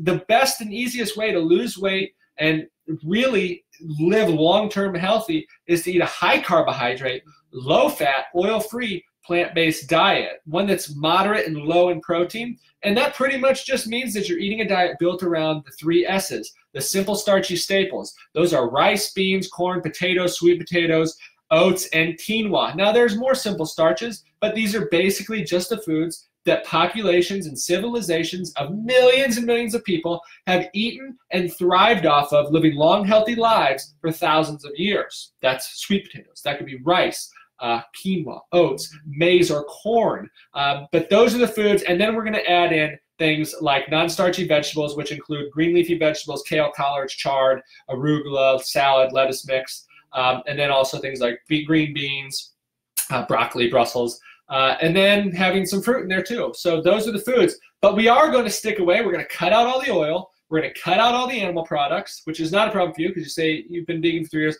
We're going to cut out the oil, cut out the animal products. We're going to focus on the simple starchy staples, some non-starchy vegetables, and some fruit. And that is that is the big thing. Don't worry about the, you know, you can do intermittent fasting, but that's not where it's at. It's the food. The food, the food, the food is where you're going to get that benefit. Um, and that is where I would recommend starting and ending. I wouldn't get too too crazy about anything else there. Emerson, I hope that helped, man. I, I really do. Um, it's you know, celebratory food is one thing, but building your diet around something, stay away from the fake vegan meats and stay away from the oil. You're going to reach your best benefit there. Uh, all right, last question. Um, if you have any more questions, ask them, and I'll go back and I'll go back and uh, you know comment through. But last one I'm going to answer because I got to get going. We've got uh, my mother and father-in-law in town, uh, Dr. Miller's parents, and uh, we're having a great weekend. But uh, we've got some plans tonight. And oh, don't leave yet because Bubbles and Bella will say goodbye. I'll make sure that happens. I guarantee it. All right, last question. The honor goes to Kathy. Kathy says, My 17 year old son is an elite footballer. Now, in America, I would assume that is plays American football, but it could also mean footballer would be soccer. Either way, doesn't matter. Doesn't matter. Um, an elite footballer and just went plant based. He wants to trim down and rip up without losing energy and strength. He lost a few pounds, got a few gains, and his body is changing. Any advice for him while getting in front of scouts? You actually convinced him to start the program. Thank you. Kathy, you want to put a smile on this guy's face? Tell me that a young guy or gal is eating a plant based diet because I can help lead by example. Wow. Wow. What a question to end with. Uh, Kathy, shoot me a message or something. I, you know, I, I can always, I, would love to give some specific advice if you have questions about specific advice. Um, but in general, for everybody watching, man, I, I, wish this would have been an earlier question. Um, but we're answering it now. We're answering it now, Kathy. Here we go. When it comes to a plant based diet for your son, an elite football player, 17 year old, I'm guessing a junior in high school, possibly maybe starting his senior year, uh, here it goes. We're eating the exact same thing. Everybody, you know, everybody on the outside and, and some social media gurus who aren't doctors, right? I'm not a doctor, but uh, I would say that I'm pretty much in line with the, the plant pioneers here. Uh, they're going to you, eat protein. You got to eat your protein, protein powder, protein. You know, same thing I did, right? And all it did was made me fat and slow and, you know, upset my stomach and made me feel like crap. Uh, here is the, the real advice. Here's the real truth about being a 17 year old plant based athlete. You're going to build your diet around the simple starchy staples. And I, I work with different young plant based athletes, a little bit older plant based athletes, high school, college age um, even some professional. Uh, here we go. It is you're going to build your diet around the simple starchy staples. Now the key, the key, key, key here, Kathy, and your for your son is to make sure he's eating enough calories because you did say he wants to trim down, but you also said he wants to he wants to rip up, which means add a little bit of muscle. I like it. I like it. Um, but also wants to you know, keep the energy up. So I'm more worried about for a high level athlete. We're talking about a high level athlete. We're not gonna, you know, who's already, ex, you know, you're extending a lot of energy. And for most high level athletes, you know, sorry, I'm getting a, I'm getting a call from my mom. I wonder if she has a question here. Um, mom, watching, no call me on my live streams. Come on, what the heck? Um, but here we go. Uh, the you're the burning the calories is not the problem. So I'm not worried about trimming up. I'm more worried about you know you want to you want to keep on that muscle mass and you want to keep the energy up. So all it means is you're going to eat a calorie sufficient diet. You have to eat enough calories. Now, where are you going to get those calories to not only help you you trim up a little bit, which for a for an elite athlete, it's not a problem. You get on this way of eating, you're an elite athlete, you're exuding a lot of energy. You know, it's just it's it's easy, it's great, um, easy stuff. But here we go. You're going to eat enough calories, a calorie sufficient diet if that means your seven, you know, if your son is say, we'll just say he's, you know, really high level in season, in practice, high level, burning, you know, he probably needs 2,500, 3,000 calories a day. where are you going to get those? We're not going to get them from isolated proteins. We're not going to get them from nuts, seeds, avocado. You know, we're going to get them from whole plant foods. We're going to get them from rice, beans, corn, potatoes, sweet potato, oats, quinoa. Okay, those simple starchy staples, because those are the high car- carbohydrate, high fiber foods that are high energy but low fat, so that they're going to be perfect for trimming down you know, for building up some muscle and uh, keeping the energy up. So that's where the base of the diet is. A nice big bowl of oatmeal with some fruit, maybe some maple syrup in the morning. It's going to be a great breakfast option. Lunch, take your lunch. Take your lunch to school and maybe eat two lunches. Uh, two lunches worth because guess what? You got practice coming up and practice you got to you know whether or not you're eating plant-based practice is you know that's one thing about plant-based diet that everybody is the recovery and just how good you feel practicing and training is so much better. I hope he's experiencing it, and he will experience it if he keeps it up. Uh, but have a big lunch. You know, not so much that you're going to be sick at practice, but you know, have have a couple sweet potatoes, have some baked beans, have some cooked black beans, some salsa on there. Fill up on those high carbohydrate, those simple starchy staples. That's where the bulk of those calories are going to be. Have have a you know have some greens in there if you want, um, but the real benefit is going to be coming from those simple starchy staples after practice. You know, practice is a tough practice. We're going to get home and I'm going to have a quick meal of, you know, or maybe I'm going to have something that I can eat right after practice. I got my locker up here, pop it down. I've got a, I've got a baked sweet potato, a cold baked sweet potato, pop. I'm eating that right away after practice. I'm just getting some calories in me after burning up after practice. I'm to go home. I'm to have a nice big dinner, maybe some brown rice with a little chickpea curry on it, uh, or maybe just some brown rice and some salsa or some black beans. You keep it as you know, you know me. Keep it as simple as you want, uh, but bulk up on those simple starchy staples because you're you, the great thing is you're not going to overeat them, especially if you're a high level athlete. You're not going to overeat them. Uh, but what you will do is you can make sure that you're going to eat the you know you're going to eat a sufficient amount of calories. Now here's one thing I would not recommend. You're going to hear it: eat beans, eat beans, protein, protein. Don't overeat on the beans. Maybe a cup a day. Don't overeat on the beans because that is going to cause bloating. That is going to potentially cause some problems. So keep the beans to a minimum as he's working his way up on this plant-based way of eating, but stick to those simple starchy staples. Those rice, corn, quinoa, oats, potatoes, sweet potatoes, those type of foods. Now, as a as a high level athlete, of course he can have some nuts, seeds, avocados. He's burning a lot of calories. Are you going to make it a your meal? Are you going to eat them as snacks? I wouldn't recommend it. I really wouldn't. Unless, unless Kathy, he's starting. You know, if if now now here's the here's the preface. If he's eating 3,000 calories of those whole plant foods, the you know the simple starchy staples, some rice, some or some some fruit, some vegetables, um, and he's still you know maybe losing too much weight. The coach, you know, then you may add some nuts, seeds, avocados in there probably it shouldn't happen. He's not going to need to do that. Uh, it's not that hard if you're burning, you know, if you're going through your day burning 3,000 calories, having a, a hard practice, it's not hard throughout the following day or throughout that day to, to eat 3,000 calories right? That's kind of the the reason that I recommend people uh, lo- with the main goal of losing weight stay away from uh, high intensity exercise is because of how easy it becomes to eat, overeat, you know, 1,200, 1,500 calories after that high intensity workout. So I have no worry that, that he's going to lose too much weight. That's not a worry at all. Now, if he was a 315 pound offensive lineman who's six foot five, he's and, and he was losing a lot of weight and scouts were noticing, that's a different story. We're going to probably have to add in some of those higher, you know, higher fat foods just to keep that fat on him, right? But if he wants to trim down, be a quick, agile, active footballer, then yeah, the, those foods are great. Now, some more higher, you know, here's here's a great thing to get in a little bit more calories that are still high carbohydrate, low fat, whole food plant based. Go for those pasta and the breads, right? Have a good sandwich. Have pasta at lunch. Pasta is a great thing. You can get a lot in, a lot of good, you know, high carbohydrate calories, and it's going to be good energy, and it's not gonna, it's gonna fill him up without filling him out, right? That's the goal. Fill up without filling out. It's going to be a good amount of fiber in there. Um, so that helps. So good amount of pasta, all the simple starchy staples, some fruit, some veg.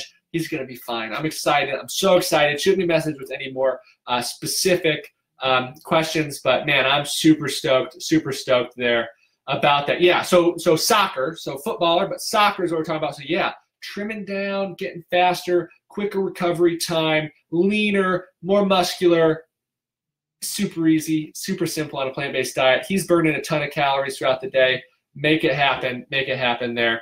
Um, let's see here. All right, one more question, just because Steve asked here. High carb foods cause my diabetes to spike very high. I did a whole food plant based diet for 1.5 years and it never corrected itself. Now a vegan, but watch high carb starchy foods. I guess I'm the odd out.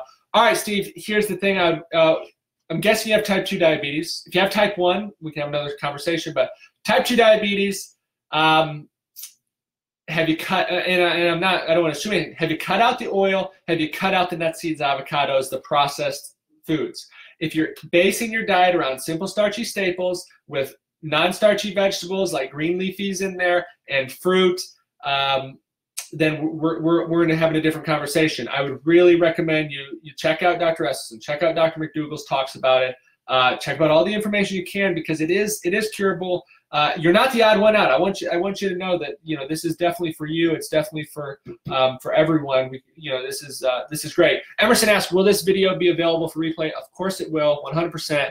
I will. Uh, this will be up on my Facebook page as soon as it down. As soon as we're kind of finished, it takes about five minutes to be uploaded, and then I'm also going to download and post to my YouTube channel. So I hope that helps. I hope that helps everybody. Love ya. I did promise. I did promise. Come here. All right. Oh. Bella, say goodbye to the camera. Bye, everybody. All right, Belle, you got any parting words? Eat your simple starchy staples. All right. Well, thanks, Bella. We, we will eat our simple starchy staples. Uh, let's see. All right, Bubbles. Oh. All right. Hey, what you, you're you're looking like I just woke you up, which I did. Uh, you got any parting words for us, Bubbles? No oil. Cut it all out. No oil. No oil. Eat your simple starchy staples. Thank you, Bubbles. What a wonderful way to end our live stream. Bubbles looks like she's having a panic attack, but this is just what she looks like when she's tired. Um, all right, everybody. Thanks for tuning in. Again, this will be uploaded on the Facebook page. Um, love you. Hope you have a wonderful day. Happy Labor Day, everybody. Uh, rest dogs are knocking stuff over. Uh, rest up. Have a good rest. Uh, have a good extended weekend. Eat your simple starchy staples. Uh, stay blessed. Remember, you got to love. You got to lead by example. That's the only way you're going to change the people around you, change the world around you. Keep up the good work, everybody. Uh, I'll be around for questions and comments and everything. So we will talk soon. Bye bye.